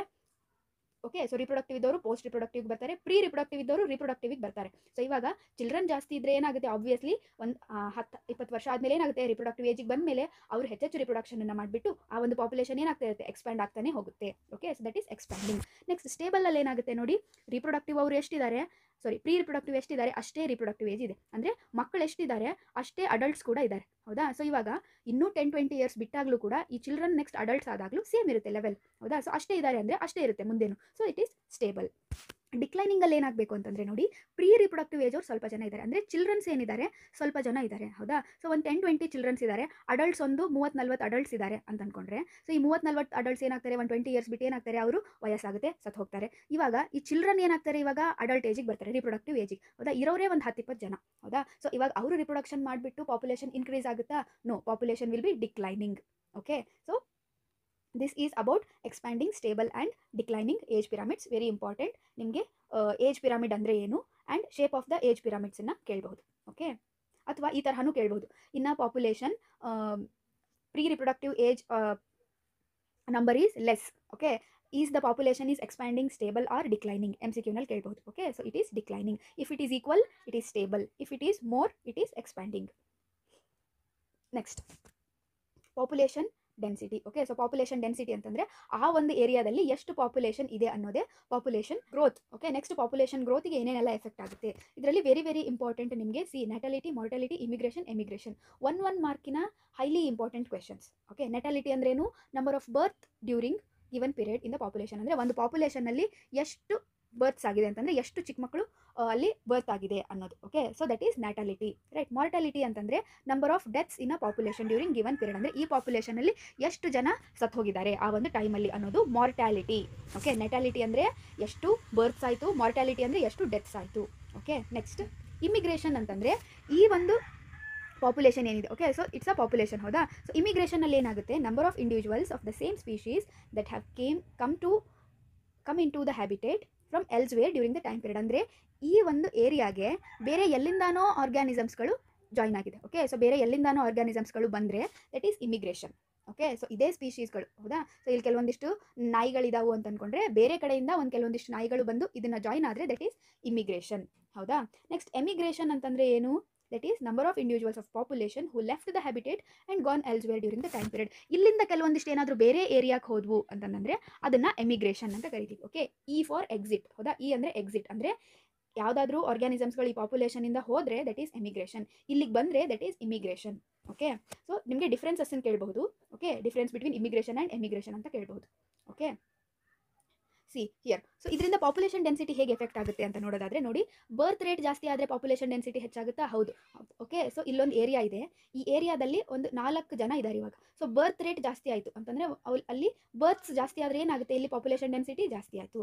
ಅದೇ ಏನಾದರೂ ಮಾರ್ಟಾಲಿಟಿ ಆದರೆ ಓಕೆ ಮಾರ್ಟಾಲಿಟಿ ಅಂದರೆ ಮೈನಸ್ ಹೌದಾ? ಸೊ ಇಲ್ಲಿಂದ ಕೆಲವೊಂದಿಷ್ಟು ಆರ್ಗ್ಯಾನಿಸಮ್ಸ್ಗಳು ಏನಾಗ್ಬಿಟ್ವಿ ಇವಾಗ? ನೆಕ್ಸ್ಟ್ ಅವರು ಸತ್ತು ಹೋಗ್ಬಿಟ್ರು. ಸೊ ಸತ್ತು ಹೋಗ್ಬಿಟ್ರೆ ಏನಾಯ್ತು ಇವಾಗ? ಈ ಏರಿಯಾದಲ್ಲಿ ಪಾಪ್ಯುಲೇಷನ್ ಡೆನ್ಸಿಟಿ ಕಡಿಮೆ ಆಯಿತು. ನೆಕ್ಸ್ಟ್ ಇಲ್ಲಿಗೆ ಇಮಿಗ್ರೇಟ್ ಆದರು. ಸೊ ಇಮಿಗ್ರೇಟ್ ಆಗೋದು ಅಂದ್ರೇನು ಬೇರೆ ಕಡೆಯಿಂದ ಬಂದರು ಪಾಪ್ಯುಲೇಷನ್ ಡೆನ್ಸಿಟಿ ಜಾಸ್ತಿ ಆಗುತ್ತೆ. ಇಲ್ಲ, ನಮಗೆ ಇಲ್ಲಿ, ಇಲ್ಲಿಂದ ಆರ್ಗ್ಯಾನಿಸಮ್ಸ್ ಹೋದರು, ಬೇರೆ ಕಡೆ ಹೋದರು ಅಂತಂದರೆ ಏನಾಗುತ್ತೆ? ಎಮಿಗ್ರೇಷನ್ ಆದರೆ ಪಾಪ್ಯುಲೇಷನ್ ಡೆನ್ಸಿಟಿ ಕಡಿಮೆ ಆಗುತ್ತೆ ಓಕೆ ನೆಕ್ಸ್ಟ್ ಸೊ ಫಾರ್ಮುಲಾ ನೋಡಿ ಫಾರ್ಮುಲಾ ಕೊಟ್ಟಿದ್ದಾರೆ. ಎನ್ ಟಿ ಪ್ಲಸ್ ಒನ್ ಅಂತಂದರೆ ಪಾಪ್ಯುಲೇಷನ್ ಎನ್ ಅಂದರೆ population density at T plus one time ಅಂದರೆ ಫಾರ್ ಎಕ್ಸಾಂಪಲ್ ಇವಾಗ ಒಂದು ಹತ್ತು ವರ್ಷ ಬಿಟ್ಟು ನಾವು ನೋಡೋದಾದರೆ, ಅಲ್ಲಿನ ಪಾಪ್ಯುಲೇಷನ್ ಡೆನ್ಸಿಟಿಯನ್ನು ಏನಂತ ಕರಿಬಹುದು ನಾವು? ಎನ್ ಟಿ ಪ್ಲಸ್ ಒನ್ ಅಂತ ಕರಿತೀವಿ. ಓಕೆ ದಟ್ ಈಸ್ ಹತ್ತು ವರ್ಷ ಬಿಟ್ಟು ಅಂತ ಅನ್ನೋದು ಎನ್ ಟಿ ಅಂತಂದರೆ ಆ ಟೈಮಲ್ಲಿ ಹೌದಾ? ಫಾರ್ ಎಕ್ಸಾಂಪಲ್ ಇವಾಗ ಟೂ ತೌಸಂಡ್ ಇಯರಲ್ಲಿ ಎಷ್ಟು ಇತ್ತು ಅನ್ನೋದು ಎನ್ ಟಿ ಆದರೆ ಟೂ ತೌಸಂಡ್ ಟೆನ್ನಲ್ಲಿ ಎಷ್ಟಿತ್ತು ಅನ್ನೋದು N T plus one okay so ಇವಾಗ ಟೂ ತೌಸಂಡ್ ಟೆನ್ನಲ್ಲಿ ಎಷ್ಟಿತ್ತು ಅಂತ ನಾವು ಹೇಗೆ ಕಂಡುಹಿಡಿಬಹುದು? By calculating number of people ಅಂದರೆ ಪಾಪ್ಯುಲೇಷನ್ ಡೆನ್ಸಿಟಿ ಟೂ ತೌಸಂಡಲ್ಲಿ ಎಷ್ಟಿತ್ತು? ದಟ್ ಈಸ್ ಎನ್ ಟಿನಲ್ಲಿ ಎಷ್ಟಿತ್ತು? ನೆಕ್ಸ್ಟ್ ಎಷ್ಟು ಬರ್ತ್ಗಳಾಯಿತು ಅಂದರೆ ಆ ಪಾಪ್ಯುಲೇಷನ್ಗೆ ಎಷ್ಟು ಆ್ಯಡ್ ಆಯಿತು? ನೆಕ್ಸ್ಟ್ ಇಮಿಗ್ರೇಷನ್ ಅಂದರೆ ಅಲ್ಲಿ ಬೇರೆ ಕಡೆಯಿಂದ ಎಷ್ಟು ಜನ ಬಂದರು ಅನ್ನೋದರಲ್ಲಿ ಮೈನಸ್ ಮಾಡಬೇಕು. ಏನನ್ನು ಮೈನಸ್ ಮಾಡಬೇಕು? ಎಷ್ಟು ಜನ ಸತ್ತು ಹೋದರು ಆ ಟೈಮಲ್ಲಿ ಎಷ್ಟು ಜನ ಬೇರೆ ಕಡೆ ಹೋದರು? ಅನ್ನೋದನ್ನು ನೋಡಿದರೆ ನಮಗೆ ಟೂ ತೌಸಂಡ್ ಟೆನ್ನಲ್ಲಿ ಅಲ್ಲಿ ಎಷ್ಟು ಪಾಪ್ಯುಲೇಷನ್ ಡೆನ್ಸಿಟಿ ಇದೆ ಅನ್ನೋದು ಗೊತ್ತಾಗುತ್ತೆ. ಓಕೆ ಇನ್ನು next growth models very very important growth models okay so growth models ಅಂದರೆ ಹೇಗೆ ಪಾಪ್ಯುಲೇಷನ್ ಗ್ರೋ ಆಗುತ್ತೆ ಅನ್ನೋದಕ್ಕೆ ಒಂದೆರಡು ಮಾಡೆಲ್ಗಳನ್ನು ಕೊಟ್ಟಿದ್ದಾರೆ. ಒಂದು ಎಕ್ಸ್ಪೋನೆನ್ಷಿಯಲ್ ಗ್ರೋತ್ ಆಗಬಹುದು ಅಥವಾ ಲಾಜಿಸ್ಟಿಕ್ ಗ್ರೋತ್ ಆಗಬಹುದು ಓಕೆ ಒಂದು ಎಕ್ಸ್ಪೋನೆನ್ಷಿಯಲ್ ಗ್ರೋತ್ ಆಗಬಹುದು ಲಾಜಿಸ್ಟಿಕ್ ಗ್ರೋತ್ ಆಗಬಹುದು. ಎಕ್ಸ್ಪೋನೆನ್ಷಿಯಲ್ ಗ್ರೋತಲ್ಲಿ ಏನಾಗುತ್ತೆ ಅಂದರೆ ರಿಸೋರ್ಸಸ್ ಆರ್ ಅನ್ಲಿಮಿಟೆಡ್ ಓಕೆ ಅಂದರೆ ಅದಕ್ಕೆ ಯಾವುದು ಕೊರತೆನೇ ಇಲ್ಲ ರೀ ಜೀವಿಗಳಿಗೆ ಬದುಕೋದಕ್ಕೆ, ಊಟ ಇರೋದಕ್ಕೆ ಜಾಗ, ನೀರು ಎಲ್ಲ ಇದೆ ಓಕೆ ಸೊ ರಿಸೋರ್ಸಸ್ಗಳು ಜಾಸ್ತಿ ಇದ್ದಾಗ ಏನಾಗುತ್ತೆ? ಆಬ್ವಿಯಸ್ಲಿ ಆರ್ಗ್ಯಾನಿಸಮ್ಸ್ಗಳು ಸರ್ರಂತ ಪಾಪ್ಯುಲೇಷನ್ ಜಾಸ್ತಿ ಆಗೋಗ್ಬಿಡುತ್ತೆ ಹೌದಾ? ದಟ್ ಈಸ್ ಎಕ್ಸ್ಪೋನೆನ್ಷಿಯಲಿ ಜಾಮೆಟ್ರಿಕ್ ಫ್ಯಾಷನಲ್ಲಿ ಟೂ ಫೋರ್ ಏಯ್ಟ್ ಓಕೆ ಈ ತರಹ. ಕಂಟಿನ್ಯೂಸ್ ಆಗಿ ಮಲ್ಟಿಪ್ಲೈ ಆಗ್ತಾ ಹೋಗುತ್ತೆ. ದಟ್ ಈಸ್ ಜಾಮೆಟ್ರಿಕ್ ಫ್ಯಾಷನಲ್ಲಿ ಇನ್ನು ಇದಕ್ಕೆ ಫಾರ್ಮುಲಾ ಯಾವುದಿದೆ ಅಂದರೆ D N by D T equals to R N okay so ಇದ್ರದ್ದು ಈ ಗ್ರಾಫ್ ನಿಮಗೆ ತ್ರೀ ಮಾರ್ಕ್ಗೆ ಕೇಳ್ತಾರೆ ಓಕೆ ಸೊ ಗ್ರಾಫ್ ನಿಮಗೆ ತ್ರೀ ಮಾರ್ಕ್ಸಿಗೆ ಕೇಳ್ತಾರೆ. ಸೊ ಎಕ್ಸ್ಪೋನೆನ್ಷಿಯಲ್ ಗ್ರೋತ್ಗೆ ನೀವು ಈ ಫಾರ್ಮುಲಾನ ಬರೀಬೇಕು. ಇದರಲ್ಲಿ ಆರ್ ಎನ್ ಏನನ್ನ ಇಂಡಿಕೇಟ್ ಮಾಡುತ್ತೆ ಅಂದರೆ ಆರ್ ಏನೇನು ಇಂಡಿಕೇಟ್ ಮಾಡುತ್ತೆ ಅಂದರೆ intrinsic rate of natural increase okay N ಅಂದರೆ ಪಾಪ್ಯುಲೇಷನ್ ಡೆನ್ಸಿಟಿ ಟಿ ಅಂದರೆ ಟೈಮ್ ಆಯಿತಾ? ಇನ್ನು ನೆಕ್ಸ್ಟ್ ಇಲ್ಲ ಯೂಶ್ವಲಿ ಏನಾಗುತ್ತೆ? ಈ ತರಹ ಅನ್ಲಿಮಿಟೆಡ್ ರಿಸೋರ್ಸಸ್ ಇರುತ್ತಾ? ಇಲ್ಲ ಅನ್ಲಿಮಿಟೆಡ್ ಇರೋದಿಲ್ಲ. ರಿಸೋರ್ಸಸ್ ಯಾವಾಗಲೂ ಲಿಮಿಟೆಡ್ ಇರುತ್ತೆ. ಸೊ ಹಾಗಾಗಿ ಏನಾಗುತ್ತೆ? ಜೀವಿಗಳು ಲಾಜಿಸ್ಟಿಕ್ ಗ್ರೋತನ್ನು ತೋರಿಸುತ್ತೆ. ಸೊ ಲಾಜಿಸ್ಟಿಕ್ ಗ್ರೋತ್ಗೆ ನಮಗೆ ಇರುವಂತಹ ಶೇಪ್ ಆಫ್ ದ ಗ್ರಾಫ್ ಹೇಗಿರುತ್ತೆ? ಲೈಕ್ ದಿಸ್ ಎಸ್ ಶೇಪಲ್ಲಿ ಇರುತ್ತೆ. ಸಿಗ್ಮಾಯ್ಡ್ ಕರ್ವ್ ಇರುತ್ತೆ. ಹೌದಾ? ಯಾವಾಗ? ಇದನ್ನ ನಾವು ಲಾಜಿಸ್ಟಿಕ್ ಗ್ರೋತ್ ಅಂತ ಕರಿತೀವಿ. ಓಕೆ ಲಾಜಿಸ್ಟಿಕ್ ಗ್ರೋತಲ್ಲಿ ಏನಾಗುತ್ತೆ? ಇಲ್ಲಿ ದೇರ್ ಈಸ್ ಲಿಮಿಟೆಡ್ ರಿಸೋರ್ಸಸ್ ಹೌದಾ? ಸೊ ಲಿಮಿಟೆಡ್ ರಿಸೋರ್ಸಸ್ ಇರುತ್ತೆ. ಹಾಗಾಗಿ there will be competition between individuals for limited resources okay so ಇದರ ಫಾರ್ಮುಲಾ ನಿಮಗೆ it is like this d N by d t equals to r N ಬ್ರಾಕೆಟಲ್ಲಿ K minus N by K so ನಾವು here ಈ K ಅಂದರೆ ಏನು? ಹೌದಾ? So ನಮಗೆ N ಗೊತ್ತು population density R ಗೊತ್ತು intrinsic rate of natural increase T ಗೊತ್ತು time ಅಂತ. ಈ ಕೆ ಅಂದರೆ ಏನು ಅಂತ ನೋಡೋದಾದ್ರೆ K is the carrying capacity so carrying capacity ಅಂದರೆ ಏನು? ಕ್ಯಾರಿಯಿಂಗ್ ಕೆಪಾಸಿಟಿ ಅಂತಂದರೆ it is the limit of nature for that species in the habitat ಅಂದರೆ ನೇಚರ್ಗೂ ಒಂದು ಲಿಮಿಟ್ ಇರುತ್ತೆ. ಎಷ್ಟಂತ ಜೀವಿಗಳನ್ನು ಅದು ಬೆಳೆಯೋದಕ್ಕೆ ಬಿಡುತ್ತೆ ಆ ಒಂದು ಏರಿಯಾದಲ್ಲಿ so that is the limit of nature that is carrying capacity ಎಷ್ಟನ್ನು ಅದು ಇಟ್ಕೊಳ್ಳೋದಕ್ಕೆ ನೇಚರ್ಗೆ ಇಟ್ಕೊಳ್ಳೋದಕ್ಕೆ ಕೆಪಾಸಿಟಿ ಇದೆ ಜೀವಿಗಳನ್ನು. That is carrying capacity of nature okay ಇನ್ನು ನೆಕ್ಸ್ಟ್ ಈ ಗ್ರಾಫನ್ನು ನಿಮಗೆ ಕೇಳಿದರೆ ತ್ರೀ ಮಾರ್ಕ್ಸಿಗೆ ಗ್ರಾಫ್ ಗ್ರಾಫನ್ನು ಕೇಳಿದರೆ ನೀವು ಈ ಗ್ರಾಫ್ ಹಾಕಿಬಿಟ್ಟು ಈ ಫಾರ್ಮುಲಾಗಳನ್ನು ಬರೆದ್ಬಿಟ್ಟು ಇದು ಏನು ಇಂಡಿಕೇಟ್ ಮಾಡುತ್ತೆ ಅನ್ನೋದನ್ನು ಬರಿಬೇಕು okay that is like this ಈ ತರಹ ಅವುಗಳನ್ನ ಎಕ್ಸ್ಪ್ಲೇನ್ ಮಾಡಬೇಕು ಟರ್ಮ್ಸನ್ನು ಆಯಿತಾ? ಇನ್ನು next population interaction so very very important highly important ನಿಮಗೆ ಹೆಚ್ಚಾಗಿ ಫೈವ್ ಮಾರ್ಕ್ ಕ್ವಶನನ್ನು ಇದ್ರ ಮೇಲೆ ಕೇಳ್ತಾರೆ. ಆಯಿತಾ? ಹೇಗೆ ಕೇಳ್ತಾರೆ ಅಂತಂದರೆ, ನೋಡಿ ಇದರಲ್ಲಿ ಎಕ್ಸಾಂಪಲ್ಸ್ ಸಿಕ್ಕಾಪಟ್ಟೆ ಎಕ್ಸಾಂಪಲ್ಸ್ ಇದೆ. ಮ್ಯೂಚುವಲಿಸಮ್ಗೆ ಕಾಂಪಿಟೇಷನ್ಗೆ ಪ್ರಿಡೇಷನ್ಗೆ ಪ್ಯಾರಾಸಿಟಿಸಮ್ ಕಮೆನ್ಸಾಲಿಸಮ್ ಎಲ್ಲ ಸಾಕಷ್ಟು ಎಕ್ಸಾಂಪಲ್ಸ್ ಇದೆ. ಯಾವುದಾದ್ರೂ ಒಂದು ನಿಮಗೆ ಎಕ್ಸಾಂಪಲನ್ನು ಕೊಟ್ಬಿಟ್ಟು ಇದು ಯಾವುದಕ್ಕೆ ಎಕ್ಸಾಂಪಲ್ಲು ಅಥವಾ ಇದು ಹೇಗೆ ಇಂಟ್ರಾಕ್ಟ್ ಮಾಡ್ತಾ ಇದೆ ಅನ್ನೋದನ್ನು ಕೇಳ್ತಾರೆ. ಓಕೆ ಸೊ ಪಾಪ್ಯುಲೇಷನ್ ಇಂಟ್ರಾಕ್ಷನಲ್ಲಿ ನಮಗೆ ಐದು ಬರುತ್ತೆ. ಸೊ ಈ ಟೇಬಲನ್ನು ನೀವು ನೀಟಾಗಿ ನೋಡ್ಕೊಂಡ್ಬಿಡಿ. ಆಯಿತಾ? ಸೊ ಏನಿಲ್ಲ. ಇದರಲ್ಲಿ I will tell you it is about interaction between two species ಅಂದರೆ ಎರಡು ಜೀವಿಗಳ ಮಧ್ಯ ಹೇಗೆ ಇಂಟ್ರಾಕ್ಷನ್ ಆಗುತ್ತೆ ಅನ್ನುವಂಥದ್ದು ಓಕೆ ಅಂದರೆ ಹೇಗೆ ಒಂದು ರೆಸ್ಪಾನ್ಸ್ ಇರುತ್ತೆ ಅವುಗಳ ಮಧ್ಯ ಅನ್ನೋದು. ಒಂದು ಮ್ಯೂಚುವಲಿಸಮ್ ಮ್ಯೂಚುವಲಿಸಮ್ ಅಂತಂದರೆ ಇಲ್ಲಿ ನಮಗೆ ಎರಡೂ ಕೂಡ ಮ್ಯೂಚುವಲ್ ಆಗಿ ಓಕೆ ಸೊ ನಿನಗೂ ಹೆಲ್ಪ್ ಆಗಲಿ, ನನಗೂ ಹೆಲ್ಪ್ ಆಗಲಿ ಅಂತ ಇರ್ತಾವೆ. ಆಯಿತಾ? ದಟ್ ಈಸ್ ಮ್ಯೂಚುವಲಿಸಮ್ ರೈಟ್ ಇನ್ನು ಕಾಂಪಿಟೇಷನಲ್ಲಿ ಏನಾಗುತ್ತೆ? ನಿನಗೂ ಸಿಗಬಾರ್ದು, ನನಗೂ ಸಿಗಬಾರ್ದು ಅನ್ನೋ ಥರ ಅಂದರೆ ನನಗೆ ಬೇಕು, ನಿನಗೆ ಸಿಗಬಾರ್ದು ಅನ್ನೋದು ಕಾಂಪಿಟೇಷನ್ ಹೌದಾ? ಸೊ ಅದರಲ್ಲಿ ಏನಾಗುತ್ತೆ? ಎರಡು ಹೊಡೆದಾಡ್ಕೊಂಡು ಈ ಜೀವಿನೂ ಸತ್ತು ಹೋಗುತ್ತೆ, ಈ ಜೀವಿನೂ ಸತ್ತು ಹೋಗುತ್ತೆ. ಓಕೆ ಸೊ ಎರಡಕ್ಕೂ ಮೈನಸ್ ಯಾವುದಕ್ಕೂ ಲಾಭ ಇಲ್ಲ. ಇನ್ನು ನೆಕ್ಸ್ಟ್ ಪ್ರಿಡೇಷನ್ ಪ್ರಿಡೇಷನ್ ಅಂತಂದ್ರೆ ಏನು? ಬೇಟೆಯಾಡೋದು ಹೌದಾ? ಸೊ ಜೀವಿಗಳೇನು ಮಾಡುತ್ತೆ? ಒಂದು ಇನ್ನೊಂದನ್ನು ತಿಂದು ಬದುಕುತ್ತೆ. ಹೌದಾ? ಸೊ ಒಂದು ಸ್ಪೀಶೀಸ್ ಅದನ್ನು ತಿಂತಾ ಇದೆ ಅಂತಂದರೆ ದಟ್ ವಿಲ್ ಬಿ ಬೆನಿಫಿಟೆಡ್ ಹೌದಾ? ಸೊ ಇವಾಗ ಸಿಂಹ ಪ್ರಿಡೇಟರ್ ಹೌದಾ? ಜಿಂಕೆ ಪ್ರೇ ಅಂದರೆ ಜಿಂಕೆಗೆ ಏನಾಗ್ತಾ ಇದೆ? ಲಾಸ್ ಆಗ್ತಾ ಇದೆ. ಸಿಂಹಕ್ಕೆ ಒಳ್ಳೇದಾಗ್ತಾ ಇದೆ. So positive negative next parasitism so parasitism ಅಂತಂದ್ರೆ ಏನು? ಅಗೇನ್ ಪ್ಯಾರಾಸೈಟ್ಸ್ಗಳೇನು ಮಾಡುತ್ತೆ? ಬಂದು ನಮ್ಮ ದೇಹದಲ್ಲಿ ಸೇರಿಕೊಂಡು ಚೆನ್ನಾಗಿ ಬದುಕುತ್ತೆ. ಸೊ ಅವುಗಳಿಗೆ ಯೂಸ್ ಆಗ್ತಾ ಇದೆ. ಅದರಿಂದ ನಮಗೆ ರೋಗಗಳು ಬರ್ತಾ ಇದೆ. ಸೊ ನಮಗೆ ಹಾರ್ಮ್ ಆಗ್ತಾ ಇದೆ. ಸೊ ನೆಗೆಟಿವ್ ನೆಕ್ಸ್ಟ್ ಕಮೆನ್ಸಾಲಿಸಮ್ ಅಂತಂದ್ರೆ ಒಂದು ಜೀವಿಗೆ ಬೆನಿಫಿಟ್ ಆಗ್ತಾ ಇದೆ. ಬಟ್ ಅದು ಯಾವ ಜೀವಿ ಜೊತೆ ಬದುಕ್ತಾ ಇದೆಯಲ್ಲ, ಅದಕ್ಕೆ ಏನು ಯೂಸು ಇಲ್ಲ. ಹಾರ್ಮು ಇಲ್ಲ. ಹೌದಾ? ಸೊ ನ್ಯೂಟ್ರಲ್ ಆಗಿದೆ. ಸೊ ಝೀರೋ ಹಾಗಾಗಿ. ಆಯಿತಾ? ಸೊ ದಟ್ ಈಸ್ ಕಮೆನ್ಸಾಲಿಸಮ್ ಅಲ್ಲಿ ಏನಾಗುತ್ತೆ ಆ ಒಂದು ಜೀವಿಗೆ ಏನೂ ಬೆನಿಫಿಟ್ ಇಲ್ಲ. ಓಕೆ ಸೊ ಒಂದು ಜೀವಿಗೆ ಏನೂ ಬೆನಿಫಿಟ್ ಆಗ್ತಾ ಇಲ್ಲ ನ್ಯೂಟ್ರಲ್ ಆದರೆ ಇನ್ನೊಂದು ಜೀವಿಗೆ ಅದರಿಂದ ಕೆಟ್ಟದ್ದಾಗ್ತಾ ಇದೆ. ಅದು ಮಾಡ್ತಾ ಇರೋ ಕೆಲಸದಿಂದ ಇನ್ನೊಂದು ಜೀವಿ ಕೆಟ್ಟದ್ದಾಗುತ್ತೆ, ಆದರೆ ಅದಕ್ಕೆ ಮಾತ್ರ ಏನು ಯೂಸ್ ಇಲ್ಲ, ಏನು ಹಾರ್ಮ್ ಕೂಡ ಇಲ್ಲ. Okay that is amensalism right so ಇದನ್ನು ನೀಟಾಗಿ ನೋಡ್ಕೊಳ್ಳಿ. ಸೊ ನಾವು ಪಾಪ್ಯುಲೇಷನ್ ಇಂಟ್ರಾಕ್ಷನ್ಸಲ್ಲಿ ಒಂದೊಂದೇ ನೋಡೋದಾದ್ರೆ ವಿತ್ ಎಕ್ಸಾಂಪಲ್ ಸೊ ಪ್ರಿಡೇಷನ್ ಹೌದಾ? ಸೊ ಪ್ರಿಡೇಷನಲ್ಲಿ ಇಂಪಾರ್ಟೆಂಟ್ ಕ್ವಶನ್ ಹೇಗೆ ಕೇಳ್ತಾರೆ ಅಂತಂದರೆ ಸೊ ಪ್ರಿಡೇಟರ್ಸ್ ಇರೋದ್ರಿಂದ ಹೇಗೆ ನಮಗೆ ನಾವು ಬಯೋ ಬಯೋಲಾಜಿಕಲ್ ಕಂಟ್ರೋಲ್ ಮೆಥಡಲ್ಲಿ ಅದು ಹೇಗೆ ಯೂಸ್ ಆಗ್ತಾ ಇದೆ ಅಂದರೆ that is in agricultural pest control ಹೇಗಾಗುತ್ತೆ ಅಂದರೆ, ನೋಡಿ ನಾವು ಏನು ಮಾಡಬಹುದು ಮೈಕ್ರೋಬ್ಸ್ ಇನ್ ಹ್ಯೂಮನ್ ವೆಲ್ಫೇರ್ ಚಾಪ್ಟರಲ್ಲಿ ನಾವು ಕಲಿತೀವಿ, ಹೌದಾ? ಅಲ್ಲಿ ಬಯೋ ಕಂಟ್ರೋಲ್ ಏಜೆಂಟ್ಸ್ ಅಂದರೆ ಬೇರೆ ಜೀವಿಗಳನ್ನು ಬಿಟ್ಟುಬಿಟ್ಟು ನಾವು ಆ ಪೆಸ್ಟ್ಗಳನ್ನು ಕಂಟ್ರೋಲ್ ಮಾಡ್ತಾ ಇದ್ದೀವಿ ಹೌದಾ? ಸೊ ಒಂದು ಜೀವಿ, ಒಂದು ಹುಳು ಏನು ಮಾಡುತ್ತೆ? ಇನ್ನೊಂದು ಬೇರೆ ಯಾವುದೋ ಇನ್ಸೆಕ್ಟನ್ನು ಇನ್ನೂ ಯಾವುದೋ ಅನ್ನು ತಿಂದುಬಿಟ್ಟು ಅದರಿಂದ ಏನು ಹೊಲಕ್ಕೆ ಹಾರ್ಮ್ ಆಗ್ತಾ ಇತ್ತು ಅಗ್ರಿಕಲ್ಚರಲ್ ಫಾರ್ಮಿಗೆ ಹಾರ್ಮ್ ಆಗ್ತಾ ಇತ್ತು, ಅದನ್ನು ಕಂಟ್ರೋಲ್ ಮಾಡುತ್ತೆ okay that is bio control methods ಇನ್ನು ನೆಕ್ಸ್ಟ್ ಇನ್ನೊಂದು ಎಕ್ಸಾಂಪಲ್ ಸ್ಟಾರ್ ಫಿಶ್ ಪೈಸಾಸ್ಟರ್ ಇದೊಂದು ಇಂಪಾರ್ಟೆಂಟ್ ಪ್ರಿಡೇಟರ್ ಇಲ್ಲಿ. ಹೌದಾ? ನೋಡಿ, ಹೇಗೆ ಈ ಒಂದು ಪ್ರಿಡೇಷನ್ ಕೂಡ ಇಂಪಾರ್ಟೆಂಟ್ ಅನ್ನೋದನ್ನ ಇಲ್ಲಿ ಹೇಳ್ತಾ ಇದ್ದಾರೆ. ಓಕೆ ಸೊ ಪ್ರಿಡೇಷನ್ ಅನ್ನೋದು ಕೂಡ ಒಂದು ಇಂಪಾರ್ಟೆಂಟ್ ಥಿಂಗ್ ಯಾಕೆ ಅಂದರೆ, ನೋಡಿ, ಅದರಿಂದ ನಮಗೆ ಬಯೋಲಾಜಿಕಲ್ ಕಂಟ್ರೋಲ್ ಆಗ್ತಾ ಇದೆ ಅಗ್ರಿಕಲ್ಚರಲ್ಲಿ ಪೆಸ್ಟ್ ಕಂಟ್ರೋಲ್ ಆಗ್ತಿದೆ ಇನ್ನು, ನಾವೇನಾದರೂ ಈ ಪ್ರಿಡೇಟರ್ನ ರಿಮೂವ್ ಮಾಡಿಬಿಟ್ರೆ ಏನಾಗುತ್ತೆ ಅಂದರೆ, ಅಲ್ಲಿ ಆ ಒಂದು ಏರಿಯಾದಲ್ಲಿ ಏನಾಗುತ್ತೆ ಅಂದರೆ more than ten species of other invertebrates ಬೇರೆ ಬೇರೆ ಇನ್ವರ್ಟಿಬ್ರೇಟ್ಸ್ಗಳು ಹತ್ತು ಸ್ಪೀಷೀಸ್ಗಳು ಒಂದೇ ವರ್ಷದಲ್ಲಿ ಎಕ್ಸ್ಟಿಂಕ್ಟ್ ಆಗೋಗ್ಬಿಡುತ್ತೆ ಓಕೆ ಯಾಕೆ ಅಂದರೆ ಇಂಟರ್ ಸ್ಪೆಸಿಫಿಕ್ ಕಾಂಪಿಟೇಷನ್ ಅವಾಗ ಏನು ಮಾಡಿಬಿಟ್ವು? ತಾವು ತಾವೇ ಅವುಗಳು ಕಾಂಪಿಟೇಷನ್ ಮಾಡೋದಕ್ಕೆ ಶುರು ಮಾಡಿಬಿಟ್ಟು ಇನ್ವರ್ಟಿಬ್ರೇಟ್ಸ್ ಹೌದಾ? ಸೊ ಅದಕ್ಕೆ ನಮಗೆ ಸ್ಟಾರ್ ಫಿಶ್ ಇತ್ತು ಅಂತಂದರೆ ಸ್ಟಾರ್ ಫಿಶ್ ಏನು ಮಾಡುತ್ತೆ? ಅದನ್ನೊಂದು ಮೇಂಟೈನ್ ಮಾಡುತ್ತೆ. ಆ ತರಹ ಕಾಂಪಿಟೇಷನ್ ಆಗದೆ ಇರೋ ತರಹ by predating on the invertebrates okay so this is another importance ಇನ್ನು ನೆಕ್ಸ್ಟ್ ಇದನ್ನು ತಡ್ಕೊಳ್ಳೋದಕ್ಕೆ ಅಥವಾ ಇದನ್ನು ಇದರಿಂದ ತಪ್ಪಿಸ್ಕೊಳ್ಳೋದಕ್ಕೆ ಪ್ರಿಡೇಷನನ್ನು ತಪ್ಪಿಸ್ಕೊಳ್ಳೋದಕ್ಕೆ ಹೇಗೆ ಜೀವಿಗಳು ಆ್ಯಕ್ಟ್ ಮಾಡುತ್ತೆ? ಕ್ಯಾಮೋಫ್ಲೇಜ್ ಅಂದರೆ ಫಾರ್ ಎಕ್ಸಾಂಪಲ್ ಇವಾಗ ಉಸಿರುವಳ್ಳಿ ಉಸಿರುವಳ್ಳಿ ಒಂದು it's a beautiful example of camouflage ಅಂದರೆ ಬಣ್ಣನ ಬದಲಾಯಿಸ್ಕೊಂಡು ಬಿಡುತ್ತೆ ಅದು, ಹೌದಾ? ತನ್ನ ಸುತ್ತಮುತ್ತ ಇರೋ ವಾತಾವರಣಕ್ಕೆ ತಕ್ಕಂಗೆ ಬಣ್ಣ ಬದಲಾಯಿಸ್ಕೊಳ್ತಾ ಇರೋದ್ರಿಂದ ಅದು ತನ್ನ ಒಂದು ಬೇಟೆಗಾರ ಯಾರಿರುತ್ತಲ್ವ ಸೊ ಅದ್ರ ಕಣ್ಣಿಗೆ ಅದು ಕಾಣಿಸ್ಕೊಳ್ಳೋದಿಲ್ಲ. ಈ ತರಹ ನಾವು ಸಾಕಷ್ಟು ಇನ್ಸೆಕ್ಟ್ ಫ್ರಾಗ್ಗಳನ್ನು ನೋಡ್ತೀವಿ. ಸೊ ಕೆಲವೊಂದು ಇನ್ಸೆಕ್ಟ್ಗಳಿರುತ್ತೆ ನೋಡಿ, ಅದು ಗಿಡದ ಮೇಲೆ ಕೂತ್ಕೊಂಡಿರುತ್ತೆ ನಮ್ಮ ಕಣ್ಣಿಗೆ ಕಾಣಿಸೋದೇ ಇಲ್ಲ, ಹೌದಾ? ಮಾತ್ಸ್ ಯಾಕಂದರೆ ಆ ಮರದ ತೊಗಟೆ ಕಲರೇ ಇರುತ್ತೆ ಅದು. ಸೊ ಈ ತರಹ ಅವುಗಳು ಕ್ಯಾಮೋಫ್ಲೇಜ್ ಮಾಡ್ಕೊಳ್ಳುತ್ತೆ. ಇನ್ನು ಕೆಲವೊಂದು ಪಾಯ್ಸನಸ್ ಆಗಿದೆ. ಹೌದಾ? ಸೊ ಪಾಯ್ಸನಸ್ ಆಗಿರೋದ್ರಿಂದ ಯಾರು ಅದನ್ನು ತಿನ್ನೋದಕ್ಕೆ ಬರಲ್ಲ. ಇನ್ನು ಕೆಲವೊಂದು ಏನು ಮಾಡುತ್ತೆ ಅಂತಂದರೆ ಅವುಗಳೇ ಡಿಸ್ಟೇಸ್ಟ್ಫುಲ್ ಆಗಿರುತ್ತೆ. ಓಕೆ ಡಿಸ್ಟೇಸ್ಟ್ಫುಲ್ ಅಂತಂದರೆ ಅವುಗಳನ್ನ ಯಾವುದಾದ್ರೂ ಪ್ರಿಡೇಟರ್ ತಿಂತು ಅಂತಂದರೆ ಅದ್ರ ಟೇಸ್ಟೇ ಚೆನ್ನಾಗಿರಲ್ಲ. ಓಕೆ ಸೊ ಹಾಗಾಗಿ ಆ ಪ್ರಿಡೇಟರ್ ಅದನ್ನು ಇನ್ನೊಂದು ಸರ್ತಿ ತಿನ್ನಕ್ಕೆ ಬರಲ್ಲ. ಈ ತರಹ ಎಕ್ಸಾಂಪಲ್ ಯಾವುದಂದ್ರೆ ಮೊನಾರ್ಕ್ ಬಟರ್ಫ್ಲೈ ಈ ಮೊನಾರ್ಕ್ ಬಟರ್ಫ್ಲೈ ಇದು ಟೇಸ್ಟೇ ಚೆನ್ನಾಗಿಲ್ಲ. ಹಾಗಾಗಿ ಪ್ರಿಡೇಟರ್ ಅದನ್ನು ಒಂದು ಸರ್ತಿ ತಿಂತು ಅಂತಂದರೆ ಮತ್ತೆ ಅದ್ರ ಆ ಸ್ಪೀಶೀಸ್ಗಳ ತಂಟೆಗೆ ಹೋಗೋದೇ ಇಲ್ಲ because of its distaste okay next competition okay so ನಾವು ಈ ಕಾಂಪಿಟೇಷನ್ ಬಗ್ಗೆ ನೋಡೋದಾದರೆ ಸೊ ದಟ್ ಈಸ್ ಕಾಂಪಿಟೇಷನ್ ಅಂತಂದರೆ ಎರಡು ಜೀವಿಗಳು ಇಂಟ್ರಾಕ್ಟ್ ಮಾಡುವಂಥ ಒಂದು ಮೆಥಡ್ ಕಾಂಪಿಟೇಷನ್ ಹೇಗೆ? ನಮಗೆ ಬೇಕು, ಯಾವುದಾದ್ರೂ ರಿಸೋರ್ಸಸ್ಗೋಸ್ಕರ ಇದು ನಮಗೆ ಬೇಕು ನಮಗೆ ಬೇಕು ಅಂತ ದೇ ಕಾಂಪೀಟ್ ಹೌದಾ? ಸೊ ಅದು ಯಾವುದೇ ರಿಸೋರ್ಸ್ ಆಗಿರಲಿ ಓಕೆ ಸೊ ಇದರಲ್ಲಿ ನಿಮಗೆ ಇಂಪಾರ್ಟೆಂಟ್ ಥಿಂಗ್ ನಿಮಗೆ ಕೇಳೋದು ಎಕ್ಸಾಮಲ್ಲಿ Gause competitive exclusion principle okay one mark question very very important okay ಏನು ಗಾ ಇಸ್ ಕಾಂಪಿಟೇಟಿವ್ ಎಕ್ಸ್ಕ್ಲೂಷನ್ ಪ್ರಿನ್ಸಿಪಲ್ ಅಂತಂದರೆ, ಇವ್ರು ಹೇಳೋ ಪ್ರಕಾರ two closely related species competing for the same resource ಅಂದರೆ ಎರಡು ಜೀವಿಗಳಿದಾವು. ಒಂದೇ ರಿಸೋರ್ಸ್ಗೋಸ್ಕರ ಕಾಂಪಿಟೇಷನ್ ಮಾಡ್ತಾ ಇದ್ದಾವು they cannot coexist indefinitely ಅವು ಎರಡೂ ಕೂಡ ಅಲ್ಲಿ ಬದುಕೋದಿಕ್ಕೆ ಸಾಧ್ಯ ಇಲ್ಲ. ಜೊತೆಗೆ ಜೊತೆಗೆ ಎರಡೂ ಬದುಕೋದಿಕ್ಕೆ ಸಾಧ್ಯ ಇಲ್ಲ. And competitively inferior one will be eliminated eventually ಅಂದರೆ ಯಾವುದಕ್ಕೆ ಕಾಂಪಿಟೇಷನ್ ಮಾಡೋದಕ್ಕೆ ಆಗೋದಿಲ್ಲ. ಓಕೆ ಸೊ ಯಾವುದು ಕಾಂಪಿಟೇಷನ್ ಮಾಡೋದಕ್ಕೆ ಆಗಲ್ಲ, ಅದೇನಾಗುತ್ತೆ? ಸತ್ತು ಹೋಗುತ್ತೆ ಅಂತ ಹೇಳ್ತಾರೆ. Okay that is Gause competitive exclusion principle okay so ಯಾವುದೇ ಎರಡು ಆರ್ಗ್ಯಾನಿಸಮ್ಗಳು ಒಂದೇ ರಿಸೋರ್ಸ್ಗೋಸ್ಕರ ಕಾಂಪಿಟೇಷನ್ ಮಾಡ್ತಾ ಇದ್ದಾಗ ಎರಡೂ ಕೂಡ ಜೊತೆ ಜೊತೆಗೆ ಬದುಕೋದಿಕ್ಕೆ ಸಾಧ್ಯ ಇಲ್ಲ. They can not coexist ಯಾವುದು ಅದರಲ್ಲಿ ವೀಕ್ ಇರುತ್ತೆ ಅದು ಎಕ್ಸ್ಕ್ಲೂಡ್ ಆಗುತ್ತೆ ಎಕ್ಸ್ಕ್ಲೂಷನ್ ಆಗುತ್ತೆ. ಅಂದರೆ ಅದು ಸತ್ತು ಹೋಗುತ್ತೆ ಅಂತ ಹೇಳ್ತಾರೆ. That is Gause competitive exclusion principle next ಇನ್ನೊಂದು ಯಾವ್ದು ಮೆಥಡ್ ಇದೆ ಅಂದರೆ resource partitioning okay so resource ಪಾರ್ಟಿಷನಿಂಗಲ್ಲಿ ಏನಾಗುತ್ತೆ? ಇಲ್ಲಿ ಒಂದು ಅಡ್ಜಸ್ಟ್ಮೆಂಟಿಗೆ ಬರುತ್ತೆ ಜೀವಿಗಳು, ಹೌದಾ? ಸೊ ಅಡ್ಜಸ್ಟ್ಮೆಂಟಿಗೆ ಬರೋ ಪ್ರಕಾರ, ಇದ್ರ ಪ್ರಕಾರ ಏನು? Two species compete for the same resource ಇಲ್ಲೂ ಕೂಡ ಸೇಮ್ ರಿಸೋರ್ಸ್ಗೆ ಎರಡೂ ಆರ್ಗ್ಯಾನಿಸಮ್ಗಳು ಕಾಂಪೀಟ್ ಮಾಡ್ತಾ ಇದೆ. ಆದರೆ they avoid the competition by choosing ಅವುಗಳು ಚೂಸ್ ಮಾಡ್ಕೊಳ್ಳುತ್ತೆ ಏನನ್ನು?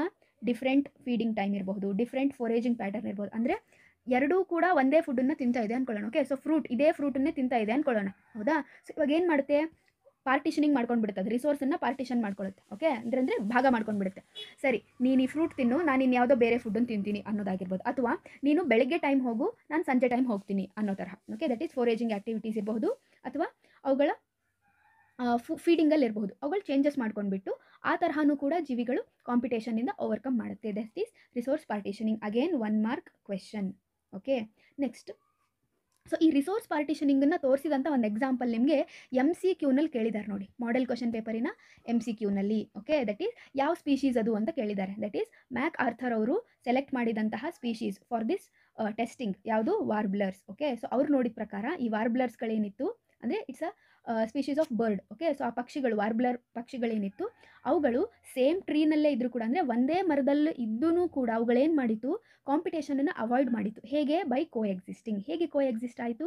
ಬೈ ದೇರ್ ಫೋರೇಜಿಂಗ್ ಆ್ಯಕ್ಟಿವಿಟೀಸ್ ಅಂದರೆ ಓಕೆ ನೀವು ಈ ಟೈಮಲ್ಲಿ ಫುಡ್ಡನ್ನು ತಿನ್ನೋಕೆ ಹೋಗಿ, ನಾವು ಈ ಟೈಮಲ್ಲಿ ಫುಡ್ಡನ್ನು ತಿನ್ನೋಕೆ ಹೋಗ್ತೀವಿ ಅಂತ ಹೇಳಿ, ಆ ವಾರ್ಬ್ಲರ್ ಸ್ಪೀಶೀಸ್ಗಳು ಅವುಗಳ ಮಧ್ಯೆ ಅಡ್ಜಸ್ಟ್ಮೆಂಟ್ ಮಾಡ್ಕೊಳ್ತು. ದಟ್ ಈಸ್ ರಿಸೋರ್ಸ್ ಪಾರ್ಟಿಷನಿಂಗ್ ಮಾಡ್ಕೊಳ್ತು. ಇದನ್ನು ಹೇಳಿದ್ಯಾರು ಮ್ಯಾಕ್ ಆರ್ಥರ್ ಅವರು. ಓಕೆ ಸ್ಪೀಶೀಸ್ ಯಾವುದು? ವಾರ್ಬ್ಲರ್ ಸ್ಪೀಶೀಸ್ ಎಂ ಸಿ ಕ್ಯೂನಲ್ಲಿ ಕೇಳಿದ್ದಾರೆ ನೋಡಿ. ನೋಡಿ, ಈ ತರಹ ಕೇಳಿದ್ದಾರೆ ಯಾವ ಸ್ಪೀಶೀಸ್ ಅದು ಅಂತ ಹೇಳಿ. ಹಾಗಾಗಿ ಪ್ರತಿಯೊಂದು ಎಕ್ಸಾಂಪಲನ್ನು ಕೂಡ ನೀವು ನೋಟ್ ಮಾಡಿ ಇಟ್ಕೊಳ್ಳಿ ಈ ಚಾಪ್ಟ್ರಿಂದ ನೆಕ್ಸ್ಟ್ ಪ್ಯಾರಾಸಿಟಿಸಮ್ ಸೊ ಪ್ಯಾರಾಸಿಟಿಸಮಲ್ಲಿ ನಿಮಗೆ ಏನೇನೆಲ್ಲ ಮಾಡಿಫಿಕೇಶನ್ ಮಾಡ್ಕೊಳ್ಳುತ್ತೆ ಪ್ಯಾರಾಸೈಟ್ಸು ಆ ಒಂದು ಹೋಸ್ಟ್ನ ಜೀ ಬಾಡಿಯಲ್ಲಿ ಬದುಕೋದಿಕ್ಕೆ. ಅಂದರೆ ಅವುಗಳೇನು ಮಾಡುತ್ತೆ? ಸ್ಪೆಷಲ್ ಅಡಾಪ್ಟೇಷನ್ಸ್ ಯಾವ್ದ್ಯಾವುದು ಅಂದರೆ ಅನ್ನೆಸೆಸರಿ ಸೆನ್ಸ್ ಆರ್ಗನ್ಸ್ಗಳನ್ನು ನಾವು ಇಟ್ಕೊಳ್ಳೋದೇ ಇಲ್ಲ ಬಾಡಿನಲ್ಲಿ ಹೌದಾ? ಮತ್ತು ಅದೆಸಿವ್ ಆರ್ಗನ್ಸ್ ಅಂದರೆ ಅವುಗಳಿಗೆ ಬಾಡಿಗೆ ಅಂಟ್ಕೊಳ್ಳೋದಕ್ಕೆ ಬೇಕಾಗಿರುವಂಥ ಆರ್ಗನ್ಸ್ ಇರುತ್ತೆ. ಫಾರ್ ಎಕ್ಸಾಂಪಲ್ ಸಕ್ಕರ್ಸ್ ಹೌದಾ? ಸೊ ನೀವು ಲಿವರ್ ಫ್ಲೂಕನ್ನೇ ನೋಡಿದರೆ ನಿಮಗೆ ಸೊ ಲಿವರ್ ಫ್ಲೂಕನ್ನೇ ನೋಡಿದರೆ ನಿಮಗೆ ಇಲ್ಲೇನಿರುತ್ತೆ? ಸಕ್ಕರ್ಸ್ ಇದೆ ಅದಕ್ಕೆ. ಹೌದಾ? So suckers okay? To cling on the host next digestive ಸಿಸ್ಟಮೇ ಇರಲ್ಲ ಅದಕ್ಕೆ. ಯಾಕಂದರೆ ಅದೇನು ಡೈಜೆಸ್ಟ್ ಮಾಡ್ಕೊಳ್ಳೋದಿಲ್ಲ. ಡೈಜೆಸ್ಟ್ ಆಗಿರೋದನ್ನ ಡೈರೆಕ್ಟಾಗಿ ತೊಗೊಳುತ್ತೆ. ಇನ್ನು ಹೈ ರಿಪ್ರೊಡಕ್ಟಿವ್ ಕೆಪಾಸಿಟಿ ಅಂದರೆ ಹೆಚ್ಚೆಚ್ಚು ರಿಪ್ರೊಡಕ್ಷನನ್ನು ಮಾಡುತ್ತೆ. ಎಗ್ಸನ್ನು ಪ್ರೊಡ್ಯೂಸ್ ಮಾಡುತ್ತೆ. Okay so these are all special adaptation right ಇನ್ನು next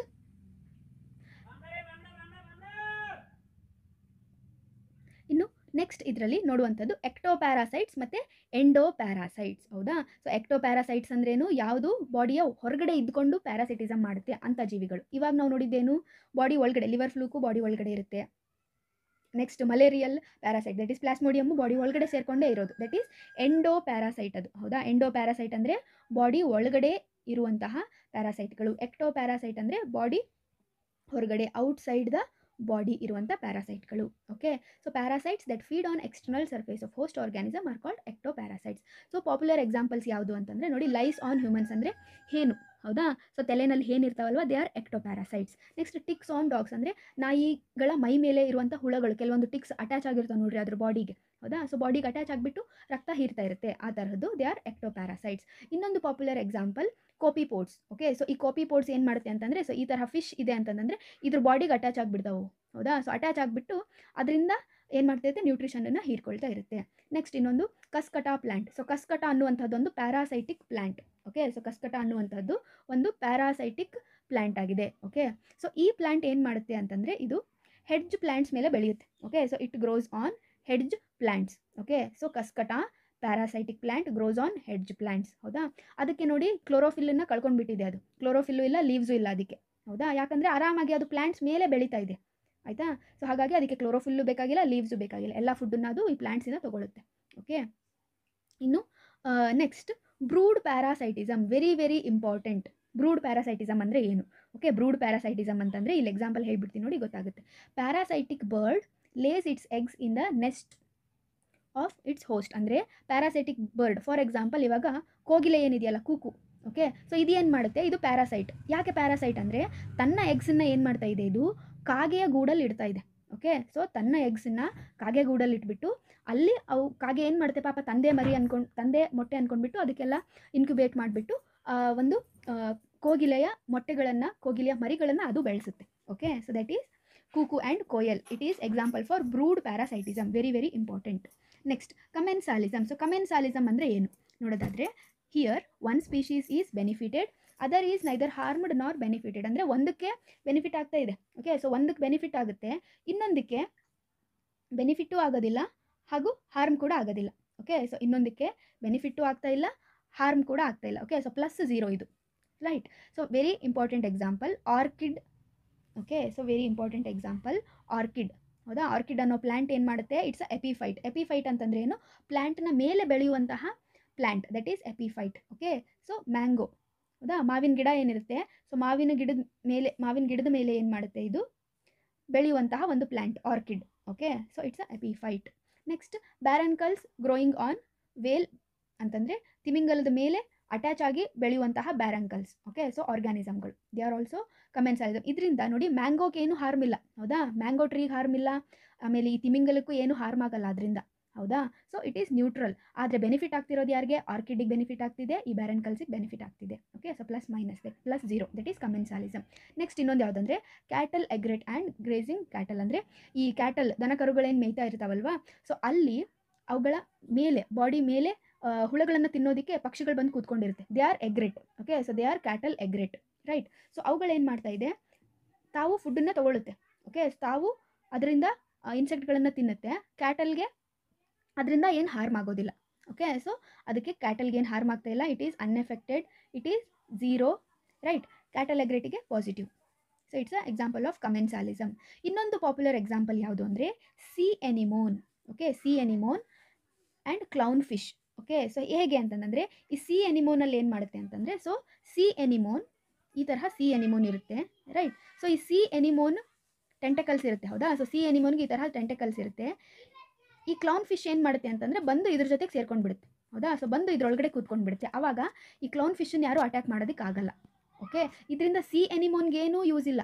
Okay so it is zero zero benefit ಆದರೆ ಇಲ್ಲಿ ಕ್ಲೌನ್ ಫಿಶ್ ಏನಿದೆಯಲ್ಲ ಸೊ ಕ್ಲೌನ್ ಫಿಶ್ಗೆ ಪಾಪ ಯಾರಾದರೂ ಪ್ರಿಡೇಟರ್ ಬಂದರು ಅಂತಂದರೆ ಅದು ಹೋಗಿದ್ರೆ ಬಚ್ಚಿಟ್ಟುಕೊಳ್ಳೋದ್ರಿಂದ ಈ ಟೆಂಟಕಲ್ಸ್ ಹೋಗಿ ಯಾರಾದರೂ ಬಂದರೆ ಹೊಡೆದು ಬಿಡುತ್ತೆ ಟೆಂಟಕಲ್ಸ್ ಆ ಪ್ರಿಡೇಟರ್ಗೆ ಓಕೆ ಸೊ ಹಾಗಾಗಿ ಕ್ಲೌನ್ ಫಿಶ್ಗೆ ಸೇಫ್ ಜಾಗ ಸಿಗ್ತಾ ಇದೆ. ಸೊ ಕ್ಲೌನ್ ಫಿಶ್ಗೆ positive sea ಎನಿಮೋನ್ಗೆ zero okay so sea anemone and clown fish ಕಮೆನ್ಸಾಲಿಸಮ್ಗೆ important examples next ಇರೋದು ಮ್ಯೂಚುವಲಿಸಮ್ ಸೊ ಮ್ಯೂಚುವಲಿಸಮ್ಗೆ ನಿಮಗೆ ಇಂಪಾರ್ಟೆಂಟ್ ಎಕ್ಸಾಂಪಲ್ ಯಾವುದಂದ್ರೆ ಲೈಚಿನ್ ಅಥವಾ ಲೈಕೆನ್ ಲೈಕೆನ್ ಏನು ಮಾಡುತ್ತೆ? It's a association of fungus and algae, ಹೌದಾ? ಫಂಗಸ್ಗೆ ಫುಡ್ ಬೇಕು, ಅದನ್ನು ಆಲ್ಗೆ ಕೊಡುತ್ತೆ. ಆಲ್ಗೆಗೆ ಏನು ಬೇಕು? ಇರೋದಕ್ಕೆ ಪ್ಲೇಸ್ ಬೇಕು, ಅದನ್ನು ಫಂಗಸ್ ಕೊಡುತ್ತೆ. Next mycorrhizae very important mycorrhizae ಏನು ಅಂತಂದರೆ it is fungi plus roots okay so ರೂಟ್ಸಲ್ಲಿ ಏನು ಮಾಡುತ್ತೆ? ಈ ಫಂಗೈಗಳು ರೈಟ್ ಸೊ ದೀಸ್ ಫಂಗೈ ಏನು ಮಾಡುತ್ತೆ? ಹೋಗಿ ಅಲ್ಲಿ ಅಸೋಸಿಯೇಟ್ ಆಗಿರುತ್ತೆ ಓಕೆ ಸೊ ಇದನ್ನು ನಾವೇನಂತ ಕರಿತೀವಿ? ಮೈಕೋರೈಸೆ ಅಂತ ಕರಿತೀವಿ ಓಕೆ ಸೊ ಇದರಲ್ಲಿ ಏನಾಗುತ್ತೆ? ಫಂಗೈ ಏನು ಮಾಡುತ್ತೆ? ನೆಲದಲ್ಲಿರುವಂಥ ನ್ಯೂಟ್ರಿಯೆಂಟ್ಸನ್ನೆಲ್ಲ ಅಬ್ಸಾರ್ಬ್ ಮಾಡ್ಕೊಂಡ್ಬಿಟ್ಟು ಪ್ಲ್ಯಾಂಟ್ಸಿಗೆ ಕೊಡುತ್ತೆ. ಓಕೆ ಸೊ ಫಂಗೈ ಇದಕ್ಕೆ ಹೆಲ್ಪ್ ಮಾಡ್ತಾ ಇದೆ. ರೂಟ್ಸ್ ಏನು ಮಾಡ್ತಾ ಇದೆ? ಇದಕ್ಕೆ ಇರೋದಕ್ಕೆ ಪ್ಲೇಸನ್ನು ಕೊಡ್ತಾ ಇದೆ. ಓಕೆ ಸೊ ಇರೋದಕ್ಕೆ ಪ್ಲೇಸನ್ನು ಕೊಡ್ತಾ ಇದೆ. ಸೊ ಈ ತರಹ ಎರಡೂ ಮ್ಯೂಚುವಲ್ ಆಗಿ. ಆಯಿತಾ? ಸೊ ಎರಡಕ್ಕೂ ಬೆನಿಫಿಟ್ ಆಗುತ್ತೆ. That is ಮ್ಯೂಚುವಲಿಸಮಲ್ಲಿ next co evolution co evolution very important point ನಿಮಗೆ ಕೋ ಎವಲ್ಯೂಷನ್ ಮೇಲೂ ಕೂಡ ನಿಮಗೆ ಕ್ವೆಶನ್ಗಳು ಬರಬಹುದು. ಆಯಿತಾ? ಸೊ ಕೋ ಎವಲ್ಯೂಷನ್ ಅಂತಂದರೆ ಒಂದು ಜೀವಿ ಎವಾಲ್ವ್ ಆಗ್ತಾ ಇದೆ ಅಂತಂದರೆ ಅದ್ರ ಮೇಲೆ ಡಿಪೆಂಡ್ ಆಗಿರುವಂತಹ ಇನ್ನೊಂದು ಜೀವಿನೂ ಕೂಡ ಎವಾಲ್ವ್ ಆಗೋದನ್ನು ಕೋ ಎವಲ್ಯೂಷನ್ ಅಂತ ಕರಿತೀವಿ. ಸೊ ನಾವು ಇದಕ್ಕೆ ಎಕ್ಸಾಂಪಲ್ ಯಾವುದು ಅಂತಂದರೆ ಫಿಗ್ ಟ್ರೀಯಲ್ಲಿ ಪ್ರೆಸೆಂಟ್ ಇರುವಂಥ ವ್ಯಾಸ್ಪ್ ಓಕೆ ಸೊ ಈ ಟ್ರೀಗೆ ಏನು ಮಾಡುತ್ತೆ? ಪಾಲಿನೇಟರ್ ಬೇಕು. That is wasp okay so wasp ಏನು ಮಾಡುತ್ತೆ? ಇದಕ್ಕೆ ಪಾಲಿನೇಟ್ ಮಾಡುತ್ತೆ ಫಿಗ್ ಟ್ರೀಗೆ ಓಕೆ ಸೊ ಫಿಗ್ ಟ್ರೀಗೆ ಪಾಲಿನೇಷನ್ ಬೇಕು. ಅದನ್ನು and egg laying okay so ವ್ಯಾಸ್ಪಿಗೆ ಮೊಟ್ಟೆಗಳನ್ನು ಇಡೋದಕ್ಕೆ ಜಾಗನ ಫಿಗ್ ಟ್ರೀ ಕೊಡ್ತಾ ಇದೆ. ಹಾಗೂ ಫಿಗ್ ಟ್ರೀಗೆ ಪಾಲಿನೇಷನನ್ನು ಈ ವ್ಯಾಸ್ಪ್ ಮಾಡ್ತಾ ಇದೆ. So both are getting benefited in case ಏನಾದರೂ ಫಿಗ್ ಟ್ರೀನಲ್ಲಿ ಎವ ಎವಲ್ಯೂಷನ್ ಆದರೆ ಓಕೆ ಸೊ ಆವಾಗ ಈ ಒಂದು ವ್ಯಾಸ್ಪ್ನ ಸ್ಪೀಶೀಸಲ್ಲೂ ಕೂಡ ಎವಲ್ಯೂಷನ್ ಆಗುತ್ತೆ. That is co evolution next another very important example ನಿಮಗೆ ಈ ಚಾಪ್ಟ್ರಲ್ಲಿ ನೀವು ಓದಬೇಕಾದ್ರೂ ಆಗಿರುವಂಥ ಇಂಪಾರ್ಟೆಂಟ್ ಎಕ್ಸಾಂಪಲ್ ಆರ್ಕಿಡ್ದು ಓಕೆ ಸೊ ಈ ಕ್ವೆಶನ್ ಕೇಳಿದ್ದಾರೆ ನಿಮಗೆ ಮಾಡೆಲ್ ಕ್ವೆಶನ್ ಪೇಪರಲ್ಲಿ ಸೊ ಯಾವ ತರಹ ಆರ್ಕಿಡ್ ಎಫ್ ಆಫ್ರೀಸ್ಗಳು ಸೆಕ್ಷುವಲ್ ಡಿಸೀಟನ್ನು ತೋರಿಸುತ್ತೆ ಅನ್ನುವಂಥದ್ದು? ಓಕೆ ಸೊ ಏನು ಈ ಸೆಕ್ಷುವಲ್ ಡಿಸೀಟ್ ಅಂತಂದರೆ ದಟ್ ಈಸ್ ಈ ಆರ್ಕಿಡ್ ಫ್ಲವರ್ ಏನಿದೆಯಲ್ಲ ಸೊ ಸಿ ಹಿಯರ್ ಸೊ ಈ here you can see the flower so ಈ ಫ್ಲವರ್ನ ಒಂದು ದಳ ಏನಿದೆ, ಆ ದಳ ಸೇಮ್ ಫೀಮೇಲ್ ಬಿ ತರಹ ಇದೆ ನೋಡಿ. ಸೊ ಒಂದು ದಳ ಏನಿದೆ, ಅದು ಫೀಮೇಲ್ ಬಿ ತರಹ ಇರುತ್ತೆ. ಓಕೆ ಸೊ ಇದು ಫೀಮೇಲ್ ಬಿ ಅಂದ್ಕೊಂಡ್ಬಿಟ್ಟು ಏನು ಮಾಡುತ್ತೆ ಮೇಲ್ ಬಿ ಅದಕ್ಕೆ ಅಟ್ರಾಕ್ಟ್ ಆಗಿಬಿಟ್ಟು ಬರುತ್ತೆ. ಓಕೆ ಸೊ ಅದು ಫೀಮೇಲ್ ಅಂದ್ಕೊಂಡ್ಬಿಟ್ಟು ಫೀಮೇಲ್ ಬಿ ಅಂದ್ಕೊಂಡ್ಬಿಟ್ಟು ಮೇಲ್ ಬಿ ಅದಕ್ಕೆ ಅಟ್ರಾಕ್ಟ್ ಆಗಿ ಬರುತ್ತೆ and it pseudo copulates okay so ಅಲ್ಲಿ ಸೂಡೋ ಕಾಪುಲೇಷನ್ ಆಗುತ್ತೆ ಯಾಕೆ ಮೇಲ್ ಬಿ ಏನು ಅನ್ಕೊಳ್ಳುತ್ತೆ ಅದನ್ನು ಫೀಮೇಲ್ ಬಿ ಅಂದ್ಕೊಂಡ್ಬಿಟ್ಟು ಅಲ್ಲಿ ಬಂದುಬಿಟ್ಟು it copulates that is pseudo copulates okay so ಇದರಿಂದ ಏನಾಗ್ತಾ ಇದೆ ಅಲ್ಲಿ ಅಂತಂದರೆ ಆ ಒಂದು ಫ್ಲವರಿಗೆ ಆರ್ಕಿಡ್ಗೆ ಏನಾಗ್ತಾ ಇದೆ ಅಲ್ಲಿ it is getting pollinated okay so ಅದು ಪಾಲಿನೇಟ್ ಆಗ್ತಾ ಇದೆ. ಕೋ ಎವಲ್ಯೂಷನ್ಗೆ ಹೇಗೆ ಎಕ್ಸಾಂಪಲ್ ಆಗುತ್ತೆ ಇದು ಅಂತ ಅನ್ನೋದಾದರೆ if at any time female bee changes its colour patterns okay female ಬಿನ colour change brown ಇದೆ ಫಿಮೇಲ್ ಬಿ ಅಂತ ಹೇಳಿ ಅದು ಬ್ರೌನ್ ಇದೆ. ಹಾಗಾಗಿ ಮೇಲ್ ಬಿ ಅದು ಫಿಮೇಲ್ ಬಿ ಅಂತ ಬಂತು ಓಕೆ ಇನ್ ಕೇಸ್ ಅದು ಸ್ವಲ್ಪ ಬ್ಲ್ಯಾಕ್ ಕಲರ್ ಆಯಿತು ಫಿಮೇಲ್ ಬಿ ಅಂತಂದರೆ, ಈ ಒಂದು ಫ್ಲವರ್ ಕೂಡ ಏನು ಮಾಡುತ್ತೆ? Orchid flower coevolves to maintain the resemblance of its petal to female bee so ಅದು ಫಿಮೇಲ್ ಬಿ ತರಹನೇ ಕಾಣಬೇಕಂತೇಳಿ ಏನು ಮಾಡುತ್ತೆ? ಇವಾಗ ಈ ಫ್ಲವರ್ ಕೂಡ ಏನು ಮಾಡುತ್ತೆ? ಒಂದು ಪೆಟಲನ್ನು ಬ್ಲ್ಯಾಕ್ ಕಲರ್ ಆಗಿ change ಮಾಡ್ಕೊಳ್ಳುತ್ತೆ okay that is for co evolution right so this is all about organisms and population so I hope ನಿಮಗೆ ಎಲ್ಲ ಇಂಪಾರ್ಟೆಂಟ್ ಟಾಪಿಕ್ಸ್ಗಳನ್ನು ಕವರ್ ಮಾಡಿದ್ದೀನಿ ಅಂದ್ಕೊಳ್ತೀನಿ this chapter will be asked for seven marks very very important chapter ಹಾಗೂ ಎಲ್ಲ important ಟಾಪಿಕ್ಸ್ಗಳನ್ನು ನಾನು cover ಮಾಡಿದ್ದೀನಿ thanks for watching happy learning